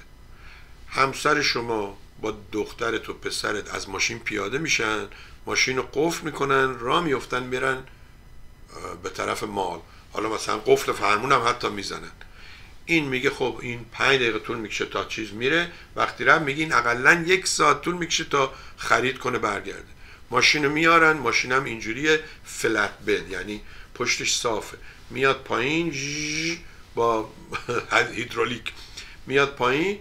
ماشین شما رو قفل باشه هر چی باشه با سیم می‌کشه می‌بره. یا یه چیزای دیگه دارن. دو تا اینجوری داره میره زیر لاستیکای جلو یا لاستیکای عقبت ماشین نو تو ور میداره میره. و ماشین نو شما که شما مای 800 دلار برای 5 سال 6 سال داری قسط میدی اینو می‌بره میفروشه با اون آقای junior بانک 800 دلار. اونم موتورش میده 2000 دلار درش میده 300 دلار صندلیش میده 800 دلار. ریختن گرفتن اف بی آی اینا گفت 11 میلیون دلار ماشینای مردم اونجا بوده. اینجام هست. فکر نکنیم فقط ایرانیا مخشون خوب کار می‌کنه و دزدای خوبی هستن. اینجا هم دزدی اینجوریه. اینجا همین توتراکه شما میری خونه مادرت نگاه می‌کنی که من یه جایی پارک کنم که جای فلجا نباشه. طرف میاد ماشین شما رو بلند می‌کنه. می‌ذاره جای فلجا. یه عکس ازش می‌گیره که شما تو جای فلج پارک کردی ورش میداری میبردش. هر یه روزی که اونجا 100 دلار 60 دلار 90 دلار ازت پول پارکینگ می‌گیرن تا شما بفهمی ماشین تو بردن 300 400 دلار باید بدی تا ماشین تو آزاد کن حالا شما بیا ثابت کن که ماشینت اونجا نبوده. شما که هر وقت پیاده میشی ماشین عکس نمی‌گیری بری. تازه عکس هم بگیری. حرف شما در مقابل حرف اینا یه مشتی لات و نمی‌دونم چاقوکش و اینا هست. دیدم تو فیلم های ایرانی دیدم این ماشین زشتی اینجوری میاد جرسقیل و توتراک. اینجا توتراک های خیلی قشنگ خیلی مدرن دارن ولی در اصل ذاتشون همشون اینجوریه و قدیما که خیلی بدتر بود دولت چندین قانون گذاشت. این قدیما سگای وحشی میذاشتن توی اون پارکینگ لاتشون. خیلی از آدما رفته بودن بهشون حمله شده بود و اینها. الان قانون اونا رو چیز می‌کنه. و اما ما ایرانی ها همه چی رو بیشتر و زودتر و بدتر و بهتر هر چی بگیم. توی مترو توی مترو قسمت زنونش شورت و کرست میفروشن. باورتون میشه جمهوری اسلامی زنا یه و آقایون یه و ولی توی اون توی اون قسمت زنونه شورت و کرست آویزون کردن به جایی که یعنی طرف مغازه گذاشته اونجا. حالا همینو اگه مامورای مترو بگیرن بگن آقا این کار این کار غیر قانونیه من و سعید و اکبری و زمانیان میگه آقا چی کارش داری؟ بنده خدا داره نون می‌خوره. اینی که داره نون می‌خوره من یادمه با پسرمون یه سالی تابستون گفت که بیا بریم برای این مغازه چی بفروشیم. گفتم این چی میفروشه؟ گفت شورت کورست. گفتم خب چیکار باید بکنیم؟ گفت میریم صبح یه قطی و اینا به اون میده. میاریم می‌ذاریم جلو مغازش شورت و کرست و اینا رو می‌ذاریم اونجا میفروشیم. گفتم خب این که مغازش اینجا. گفت خب این اگه نگذاره ما رو اینجا یکی دیگه میاد باید با اونا جر کنه دعوا کنه. الان خودش اینجا ما اینجا. مشتری از هر کدوم بخره پولش تو جیب اینه. اون وقت خیابونا میشه چی؟ خیابونا میشه شلوغ. خیابونا میشه بیقانون. همینجا تو واشنگتن. شما بیا واشنگتن کیفای قلابی برند درست کرده کیف مثلا دو هزار دلاری رو به شما میگه 80 دلار. دم ساعت هم پلیس میده و میاد دنبالشون جمع می‌کنن میرن. فرانسه بودم پاریس همون نزدیک برج ایفل. آفریقایی اونجا هستن. یه مشتشون یه مشتی مفرش مثل کوله پشتی درست کردن. چیزها رو پن می‌کنه تا او به اون سود می‌زنه میگه پلیس اومد همه رو جمع می‌کنن میدون دنیا داره به یه نقطه می‌رسه که هیچکی نمی‌دونه این چجوری به اینجا رسیدیم و چه کار باید بکنیم. شما راه حلی دارید؟ و الا اینی که آقای محمدی از این وری میگه پاکستانیا زدن. پاکستانی میگه نه آقا ایرانیا زدن. اولا شما وقتی اون قسمت بلوچستان میری شما نمی‌دونی کجاش تو پاکستان هستی کجاش تو ایران هستی. بلوچستان پاکستان داریم بلوچستان ایران هم داریم. اون وقت همین دولت هم میاد براتون فیلم می‌سازه. یه فیلمی هست اگه ندیدید ببینید. وقتی که ماه کامل شد یه جوری اینجوری هنبشه بسیار خوبی توش بازی کرده. این مرد آقای هنبشه تئاتر خیلی قشنگ بازی کرده. این داستان این برادرای ریگیه. و بعدا وزیر اطلاعات گفت این فیلم رو ما ساختیم. خب آخوند شده فیلمساز. آقای نمکیه دی نمکیه کیه؟ شده فیلمساز. فیلمساز میره میشه خواننده. خواننده میره زن هرزه رو میاره تو نمایش تو ویدیوش بازی کنه. خانم و آقای نگرانن بچه ما اگه این ویدیو رو دیدن بعدا اسم این زنه رو می‌زنن. فیلم های حجب میگه حجب روزگار غریبی شده نازنین. چه باید کرد؟ من نمی‌دونم. فروش شورت و کرست زنانه در مترو. فیلم پرزیدنت رو گفتم آقای خسرو بهرامی پیشنهاد کردن ببینیم. و من آقای بهرامی این فیلم رو بعد از برنامه ضبط می‌کنم. از فردا تا جمعه هفته آینده از تلویزیون نشون میدم. تا جایی که یوتیوب و تویچ تویچ تویچر تویچ و اینا به اصطلاح یقمونو نگیرن. اگه کپی رایتی گذاشته باشه اون آقای مخمل باف و اینها احتمالا کپی رایت میاد بالا و ممنوعش می‌کنه. خب و اما به یکی گفتم ایمیلت رو من فردا تو برنامه می‌خونم. بذارید بدقول نباشیم ایمیل این رو هم بخونیم و این بیننده نادان ما هست. حالا چرا من میگم بیننده نادان؟ بله. اسمش هست ونداد ایمانی. ونداد فکر کنم فیلم فکر کنم اسم کردی باشه نه؟ ونداد ایمانی.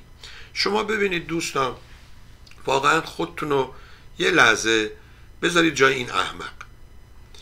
ببینید چجوری می‌تونید به خودتون اجازه بدین به یه نفر که سالها حتی از طریق این چی میگن ریموتلی از راه دور یه آشن... می‌دونید من بهتون گفتم ما یه جایی میریم طرف چون ما رو تو تلویزیون دیده فکر می‌کنه ما مونو می‌شناسیم. اصلا میاد جلو یه جور سلام علیک می‌کنه کم مونده بگه اه تو اسم منو بلد نیستی؟ نه آقا من تو رو تا حالا ندیدم.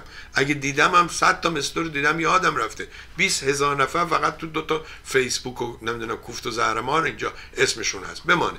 ولی می‌خوام اینو از شما بپرسم. واقعا چقدر باید پست فطرت باشیم؟ چقدر باید low life باشیم؟ low life همون کلمه پست فطرت ایرانیه. باشیم.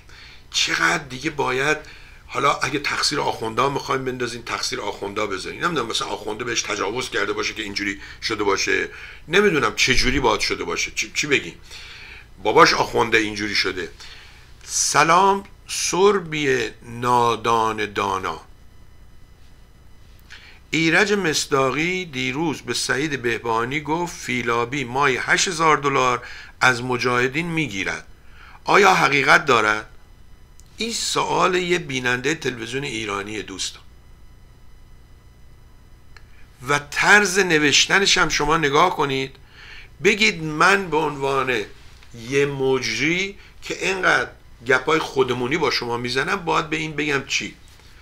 مثلا بهش بگم که آقای ونداد چرا میگم آقا؟ ممکن حالا اسم زنم ونداد باشه ولی معمولا زنا به این خری نیستن. آقایون هستن که اینقدر خرن. اوکی؟ آقای ونداد مثل این میمونه که یکی بگه مامان ونداد با یکی خوابیده این ونداد حرومزاده دنیا اومده. سربی درسته؟ من چه می‌دونم ننه تو با کی خوابیده؟ من چه می‌دونم آقای فیلابی چقدر از کی پول گرفته؟ ولی من وقتی فرانسه بودم آقای جانگیر شادانلو گفت آقا شما که اونجا هستید می‌دونید که فیلابی قرارداد شهرداری اینجا گفتم نه نه نه نه, نه. اصلا همچین چیزی نیست. آقای فیلابی یه زمانی وقتی که من میدیدمش میومد تازه همون موقع هم که چهار تا ماشین داشت اول که یه ماشین داشت بعد شد دو تا ماشین. وقتی هم شد چهار تا ماشین این چهار تا ماشینش صد هزار دلار نمیارزید. در صورتی که ماشین های ما هر کدومش صد سی هزار دلار بود. خب وقتی میومد برف روبی با این هیکل بزرگش توی این اتاق چیز اینجوری سرش رو میزاش رو این میخوابید باید فیلابی دیوونه باشه که مای هزار دلار بهش بدن و اینجوری به خودش شکنجه بده بیاد تو برف تو سرما توی آهن پاره اینجوری بخوابه. تازه فیلابی می‌تونم بگم به نسبت همه ماها از لحاظ خونه و اینها وضع خونش و اینا خیلی ممتاز نبود. مگر یه بار که یه خونه خریده بود که اونم خورد به اون ماجرای رکود اقتصادی دوره بیل کلینتون و خونه رو بانک ازش گرفت. اون خونه بزرگی بود که همیشه مهمونی می‌داد و اینها و منم هیچ وقت اونجا دعوت نبودم. چون آقای فیلابی می‌دونه. ما فقط برای کار کردن دعوت بودیم. مهمونی های دیگهشون نمی‌دونم کروز رفتن مهمونی های چیز اونا به اصطلاح دوستای تافتای جدا بافته داشتن. ولی اگه تو انقدر احمقی که میشینی پای صحبت ایرج مصداقی و سعید بهبانی معتاد دو تا انتخاب داری. یا حرفشو باور کنی یا باور نکنی. اگه باور نکنی باز روز بعدم بری بشینی نگاه کنی خیلی خری. اگه باور کنی میری نگاه می‌کنی خب بهت میگن چه کار کن. اگه گفتن کاری انجام بده و نکردی خیلی خری. بازم پس نتیجه میشه در هر صورت آقای ونداد ایمانی. شما خیلی خری آخه چی بگه آدم؟ بعضی وقتا میگیم آقا جواب ابلهان خاموشیه. ولی این هم, هم خاموشی خاموشی و ابله های دورت فکر می‌کنن که حق باشون بوده. چون از اون برم داریم حرف حساب جواب نداره. اینه. یه نفر نوشته تو ضرب ایرانی گفتم که ضرب ایرانی مشکل داره. یه جا بهت میگه این درسته یه جا بهت میگه همین غلطه. بزرگترینش اون پسر نوح با بدن بنش از فلان شد اون یکی میگه نمی‌دونم هیچ چیزی عوض نمیشه اون یکی میگه گلی خوشبوی در حمام روزی نشست از دست یعنی کمال همنشین در من اثر کرد و اون یکی میگه که نه هیچ چیزی در آدما تغییر تاثیر نمی‌ذاره. یا نمی‌دونم تربیت نااه را چون گردکان در گنبد است. بر گنبد است خب پس یعنی تاثیر نمی‌ذاره فلانه. نمی‌خونه به هم. آقای زمانیان میگه فیلم رئیس جمهور را دیدم با زیرنویس بد نبود. محسن مخبل با فیلم برزخی ها را از اکران کشید پایین. منظورتون چیه؟ یعنی خودش ساخته بود بعد کشید پایین. این پایین کشیدن و بالا کشیدن هم یکی از این جدیدا حتما دیدین یوتیوب طرف میاد با زرد می‌نویسه خامنه ای مرد. آیا خامنه ای هنوز هم زنده است؟ خودشون بالا نوشته مرد بعد اون زیر. قرمز زرد رنگایی که تو چشم شما شما رو مجبور می‌کنه کلیک کنی. یکیش نوشته بود اولین خلبان ایرانی در دوره جمهوری. بعد نوشته این خلبان نمی‌دونم چی چی را بلند کرد. بعد طرف میگه آقا این, این چه, چه نوع ادبیاتیه؟ هواپیما را بلند کرد نمی‌دونم فلان. بعدم تو این داری نشون میدی ویدیو این زنت نشسته حالا ما نمی‌دونیم این نشسته تو هواپیما. تازه خلبانی آقا چند ساعت میری؟ یادت میدن؟ یا یه کلاسی میری؟ میری. همچین اون وقتا ما ندید بدیدا فکر می‌کردیم خلبانی چیه. بدترین شغله از راننده اتوبوس بدتره. راننده اتوبوس از راننده کامیون بدتره. راننده کامیون هر جا شاشش گرفت هر جا خوابش گرفت می‌تونه بزنه کنار. ولی اتوبوس بدبخت نمی‌تونه. باید بره. اگه زد کنار یکی میگه آقا من می‌خوام ساعت 8 صبح نمی‌دونم سر کار باشم. اون یکی میگه فلان بیسار اینا. حالا خلبانه بگو. اون بالا نشسته اینجوری تا چند سال پیش که این درم که واز بود هر از گاهی می‌تونست بیاد بره حالا درر قفل و زنجیر رو نه از این ور می‌تونه بره نه از اون ور. چه شغلیه؟ اینجوری همینجوری بشینی آسمون رو ببینی اون بالا. یه وقت فکر کنید هست کبین هست رو اینترنت. برید سه ساعت بشینید. حالا پروازهای 16 ساعته رو کاری ندارید. فکر کنید شما خلبان هستید شما کمک خلبان هستید. این یه شغلاییه که طرف تو بچگی یه دفعه میگه می‌خوام خلبان بشم بعد میشه باور کنید هفته اول پشیمون میشه. میگه این چه کاری بود برای خودم ساختم در اصل اینم از این ماجرا. و اما ساعت سه و سی و یک دقیقه از ساعت چهار بعد از ظهر آقای حسن ارشاد با شما خواهند بود از طریق برنامه 308 و یک بیننده نادان ایرج مصداقی گفته فلان و فلان. این ایرج مصداقی بهش بگو ما در قهوه. تو اون موقعی که فیلابی میمد اونجا برش مثل میمون میپریدی بالا و پایین چرا اون موقع خفه شده بودی حرف نمی‌زدی؟ چای بخورم. و ازش بپرسین الان این همه سال تو خرجی تو از کجا آوردی؟ پولی که میدی به این برای برنامه تلویزیون اینو از کجا آوردی؟ شغل چیه؟ و الی آخر. اینم از این بیننده نادان. و اما اینجا نوشتم آقای اکبری درباره در خونگاه 11 از 20 اینم نوشتم. مرسی آقای اکبری مسیجات رو پخش کردم. اینجا نوشتم شهرام همایون و خزعلی. اگه اون برنامه رو ندیدید ببینید چندین برنامه دارن ولی تو یکیش اون به اصطلاح یقه خزعلی رو خوب گرفت که آقا تو چجوریه؟ این میگی نمی‌دونم برادرت رو سرباز شاه کشته یا حسین فاطمی و اینا رو به خاطر اینکه سرباز کشته یا خواهر شاه کشته شاه رو مسئول می‌دونی. ولی این همه آدم بیگناه کشته شدن خمینی رو مسئول نمی‌دونی. چون هنوز خمینی رو مقدس می‌دونی برای خودت و میترسی بهش نزدیک بشی. ممنونم. آقای زمانیان نشته آقای سربی این رج میرال چطور؟ پنج ساعت برنامه داره ولی نه آب می‌خوره نه دستشویی. چند ساله می‌بینم یک بار هم آب و دستشویی خبری نبود. خب اصلا ناراحت نباش. اولا تو این سن و سال که می‌رسی یک پوشکی هست. اینا هم که دیگه الان همه پوشک پوش شدن تو این سن و سال. پوشکی هست برای مردای بزرگ برای خانمای بزرگ. بهش میگن دیپند. این یک. می‌کنی برای میشین پاد میشه اونایی که می‌رفتن نیویورک سال نو وقتی می‌رفتن یکی از چیزاش این بود که از هتل که میاد بیرون باید پوشک پوشیده باشه که تا از کاری نکنه. این یک. دوم این آقای کاووسی هم اینجا بود. یکی از افتخاراتش این بود که دو ساعت برنامه داره آب نمی‌خوره. گفتم آقا این که افتخار نیست. من الان ببینید بین برنامه قانون آوا و برنامه خودم که نهار خوردم نوشابه خوردم باهاش. در حین برنامه وقتی آخوندا داشتن حرف می زدن آب خوردم. الان همسرم برام چای آورد دارم می‌خورم. خیلی هم خوبه.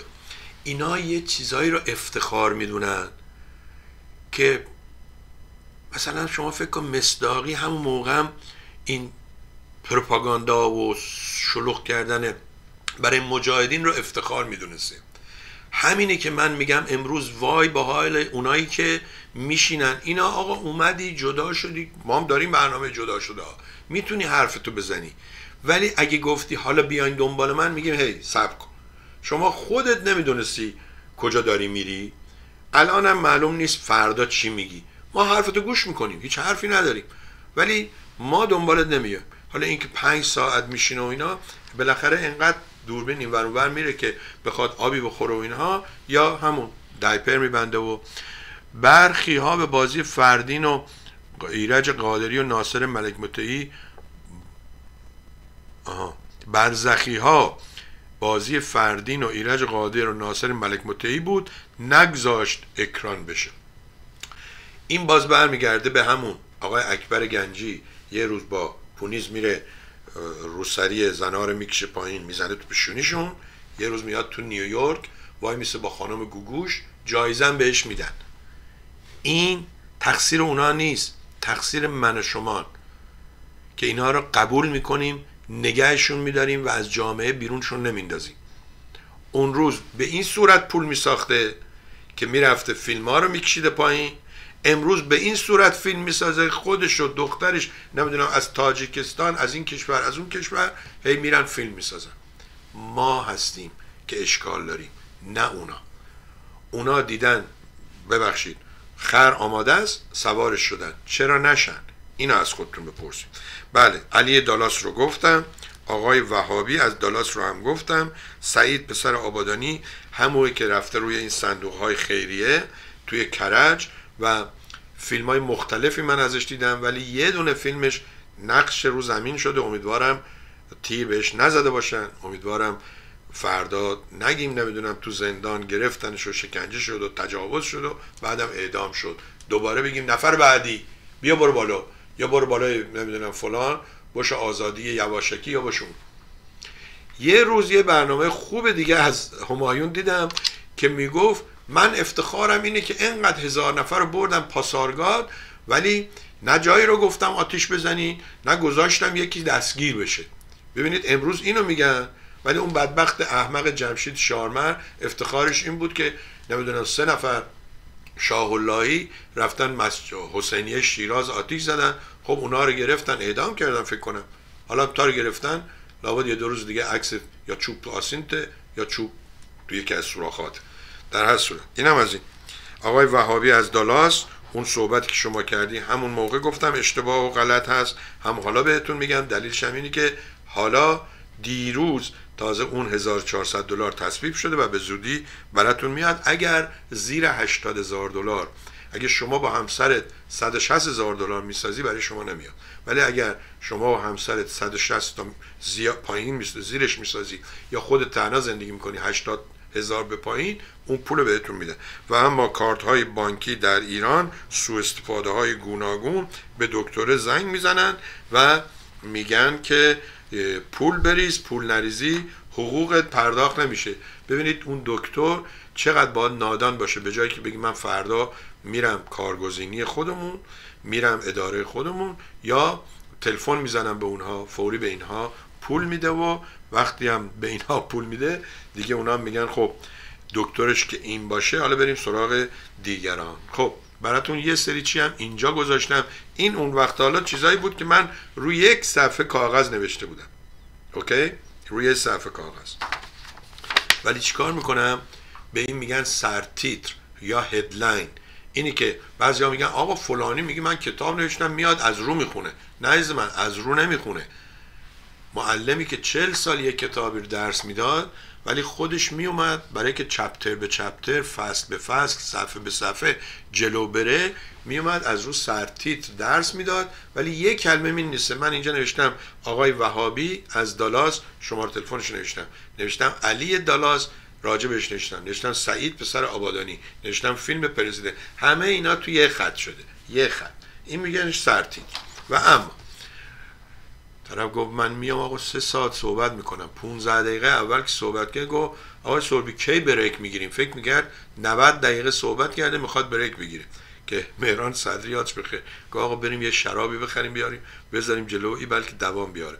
حمله موشکی حوسی ها به تاسیسات آرامکو عربستان. این بایدن که اومد حوسی ها رو از لیست تروریست ها آورد بیرون. یعنی شما میگید بایدن اینقدر نادانه که نمی‌دونه این ها از طرف ایران حمایت می شدن اسلحه های اونها و این جنگ یمن جنگ نیابتی یا پراکسی وار هست بین عربستان و ایران. می‌دونن ولی این کارو می‌کنن. اون عکسه چی گفت بهتون؟ گفت اگه کسی ازتون پرسید چرا آمریکا آخوندا رو اینا میگن آقا چه خوب می‌شد ترامپ انتخاب می‌شد. بهش میگم آقا احمق ترامپ چهار سال اینجا بود. تو چهار سال اول چه غلطی کرد که حالا تو چهار سال دوم که معمولا اینا میرن دنبال معامله و دنبال کتاب و دنبال نمی‌دونم کوفت و زهرمار بلد انجام بده. ولی مغز وقتی که منحرف شد دیگه حالا شما هرچی می‌خوای بیا درستش کن. اتحادیه عرب جزایر سگانه متعلق اتحادیه عرب گفته جزایر سگانه متعلق به امارات است. و اما تغییر موضع اروپا شورای حکام شورای حکام قطنامه علیه ایران صادر نمی‌کنه. شما یکم نگاه کنید ببینید این اپندام بالا پایینی که آمریکا و آخوندا و اینها توی این چند سال گذشته 20 25 سال گذشته از دوره خاتمی تا همین 2015 تا حالا ببینید اصلا خندهدار شده. یه روز میگن قطع می‌کنیم یه روز میگن قطع نمی‌کنیم یه روز میگن سه ماه دیگه یه روز میگن شش ماه دیگه یه روز میگن حالا از اول. دیروز هم که خیلی قشنگ روحانی می‌گفت که این بوی گوشتی که شما به دماغتون رسیده به مشامتون رسیده کباب نیست. دارن خر داغ می‌کنن. منظورشون این خرایی که می‌زنن که این خر مثلا مال مش حسنه تازه ترین نظرسنجی ها چپ های فرانسه دیگر برای مقابله با لوپن به مکرون رأی نمی‌دهند. این چپ به اصطلاح اعتراضات در فرانسه هم بیچاره این دستخوش چیز شد. کرونا شد. کرونا که اومد ریختش به هم و زدش به هم. دوستان خب داریم به عید نزدیک میشیم. اولا عیدیاتون یادتون نره حمایت یادتون نره. دوما برنامه هست. مثلا سیزدهم این اینجا واشنگتن یه برنامه هر سال میذاشت ولی امسال به صورت اینترنتی گذاشته. اگه کسی می‌خواد من لینکش الان می‌ذارم روی فیسبوک. وردارید copy link address. اینجا. paste. بله. لینک رو گذاشتم. حالا ببینم میاد یا آمد ای ایژیا بله. ببینید عکس کولچه نخود و اینها. A new day celebrating. یعنی نیو دی دیگه اون نوروز میشه. آقای ماز جبرانی چهاردهم یه برنامه داره که اینا رو هم می‌تونید از طریق اینترنت و از طریق چیز به اصطلاح زوم و اینها برین تماشا کن. صحبت از پتیک بود که همه کار انجام میده همه فن حریفه. این یکی از کاراش بود که رفته بود اون درخت و اینها. درخته رو می‌بینید بریده و من بهش گفتم آقا تو رو به خدا مواظب باش نگاه کنید این با این بند بسته به این درخت ها اینا درخت های نخلیه که فکر کنم فقط برای زیبایی تو کالیفرنیا خیلی زیاده. و این چجوری وایساده اینجا و من که نمی‌تونم بگم اگه یه میلیونم بدی همچی کاری نمی‌کنم ولی برای این کارا خیلی ترسو هستم. با وجودی که من چت باز بودم و یکی از چیزهای وحشتناک چت باز بودن اون برجیه که شما میری قبل از اینکه بری با هواپیما با از اون میپری پایین. من می‌تونم بگم از خود پرش از هواپیما ترسناکتر و سختتر بود. چون شما از این بالا وایسادی زمین هم می‌بینی میپری البته با سیم و اینا میای میری به یه تپه خاکی. حقوقدانان آهان حقوقدان برجسته ایرانی و مدافع حقوق مهاجرین در اروپا برای اولین بار نامزد انتخابات مجلس شهر فرانکفورت شد. همون دکتر شهرام ایران بومی است که من روی فیسبوک هم گذاشتم و شما اون cover page صفحه اول مردم TV فیسبوک هم که می‌خواین نگاه کنید اینو می‌بینید. اینجا نوشته که برای اولین بار دکتر دکتر ایران بومی یکی از حقوقدانان موفق ایرانی به ویژه در زمینه حمایت از حقوق مهاجرین در جهت بهتر نمودن وضعیت زندگی مهاجرین و مبارزه با بیعدالتی اجتماعی و فساد حکومتی به صورت مستقل و غیر حزبی کاملا مردمی کاندیدای نمایندگی مجلس شهر فرانکفورت در انتخابات شده است. وی در پیام خود می‌گوید هدف او برای این دوره انتخاباتی امکان حق داشتن یک آپارتمان برای هر شهروند مستجر می باشد زیرا با همان پولی که مستجران خانه های دولتی برای اجاره پرداخت می کنند می توانند صاحب خانه شوند و این بیان کننده عدالت اجتماعی است. همچنین خود را موظف می داند که برای تصاوی حقوق شهروندان شهروندان فعالیت پارلمانی قوی داشته باشد. خودشون هم اینجا نوشتن دوستان گرامی به عنوان کاندیدای انتخابات مجلس شورای شهر فرانکفورت شما را دعوت به همیاری در انتخابات 14 مارچ می نمایم کلمه خوبی رو استفاده کردم ممکنه شما نتونی شرکت کنی ولی می‌تونی همیاری کنی. حالا یا از طریق کمک کردن تماس گرفتن به این و اون یا حتی کمک کنید 10 تا 20 تا 30 تا 40 تا flyer چاپ کنید این ور پخش کنید یا حتی روی اینترنت و همین شبکه هایی که به غلط مجازی گفته میشه بفرستیم بره. هدف من یعنی هدف ایشان برای این دوره انتخاباتی امکان حق داشتن یک آپارتمان همون که گفتم. وبسایت بسیار ساده ای دارن iranbomi.com ایران بومی b o m y.com دیدن کنید اگر صحبتی سوالی داشتید باشون تماس بگیرید. اگر تماس گرفتن باشون مشکل بود با ما تماس بگیرید تا برایشون ارسال کنیم. یک بار دیگه از اینکه این برنامه هم با ما بودید و قوام و دوام بخشیدید. بهش ممنون و متشکرم. لطف کنید با دوستان خود این برنامه ها رو شیر کنید. اولین کلاس رادیو تلویزیون که میری تلویزیون. بهت میگن دستات اینجوری مثل سوسیس نکن. به همین خاطر شما می‌بینید عکاسا هم اون وقتا می‌گفتن دستتو رو دستت بذار وقتی می‌خوای عکس بگیری. و الان هم وقتی میشینی یه جایی اینجوری. حالا هر وقت من اینجوری می‌کنم یاد اون خانمه میفتم که می‌گفت دستاتون مثل سوسیس اینجوری نکنید این هم از این ماجرا. خب دوستان اگر موضوعی هست مسئله هست که می‌خواین درباره شما صحبت کنید یا مایل هستید ما درباره صحبت کنیم لطف کنید بنویسید یا پیام بذارید. شماره پیامگیر ما هست این 202 695 25 73 ولی این روزا همین سیستمی که آقای اکبری هم استفاده می‌کنه روی فیسبوک می‌تونید پیام بذارید. مجانی دیگه نه پول لانگ دیستانسی نه شورت دیستانسی و همه چیز آسون شده. فقط ما خودمون زندگی ها رو برای خودمون سخت کردیم. باز هم میگم که من نظر سیاسی ندارم. دیدید اون روز یه نفر اومده آقا شما کدوموری هستی؟ یا یکی دیگه نشو شما چند چند هستین؟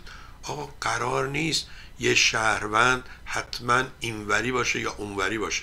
یه شهروند می‌خواد زندگی کنه می‌خواد زندگی خوبی برای خانوادش داشته باشه.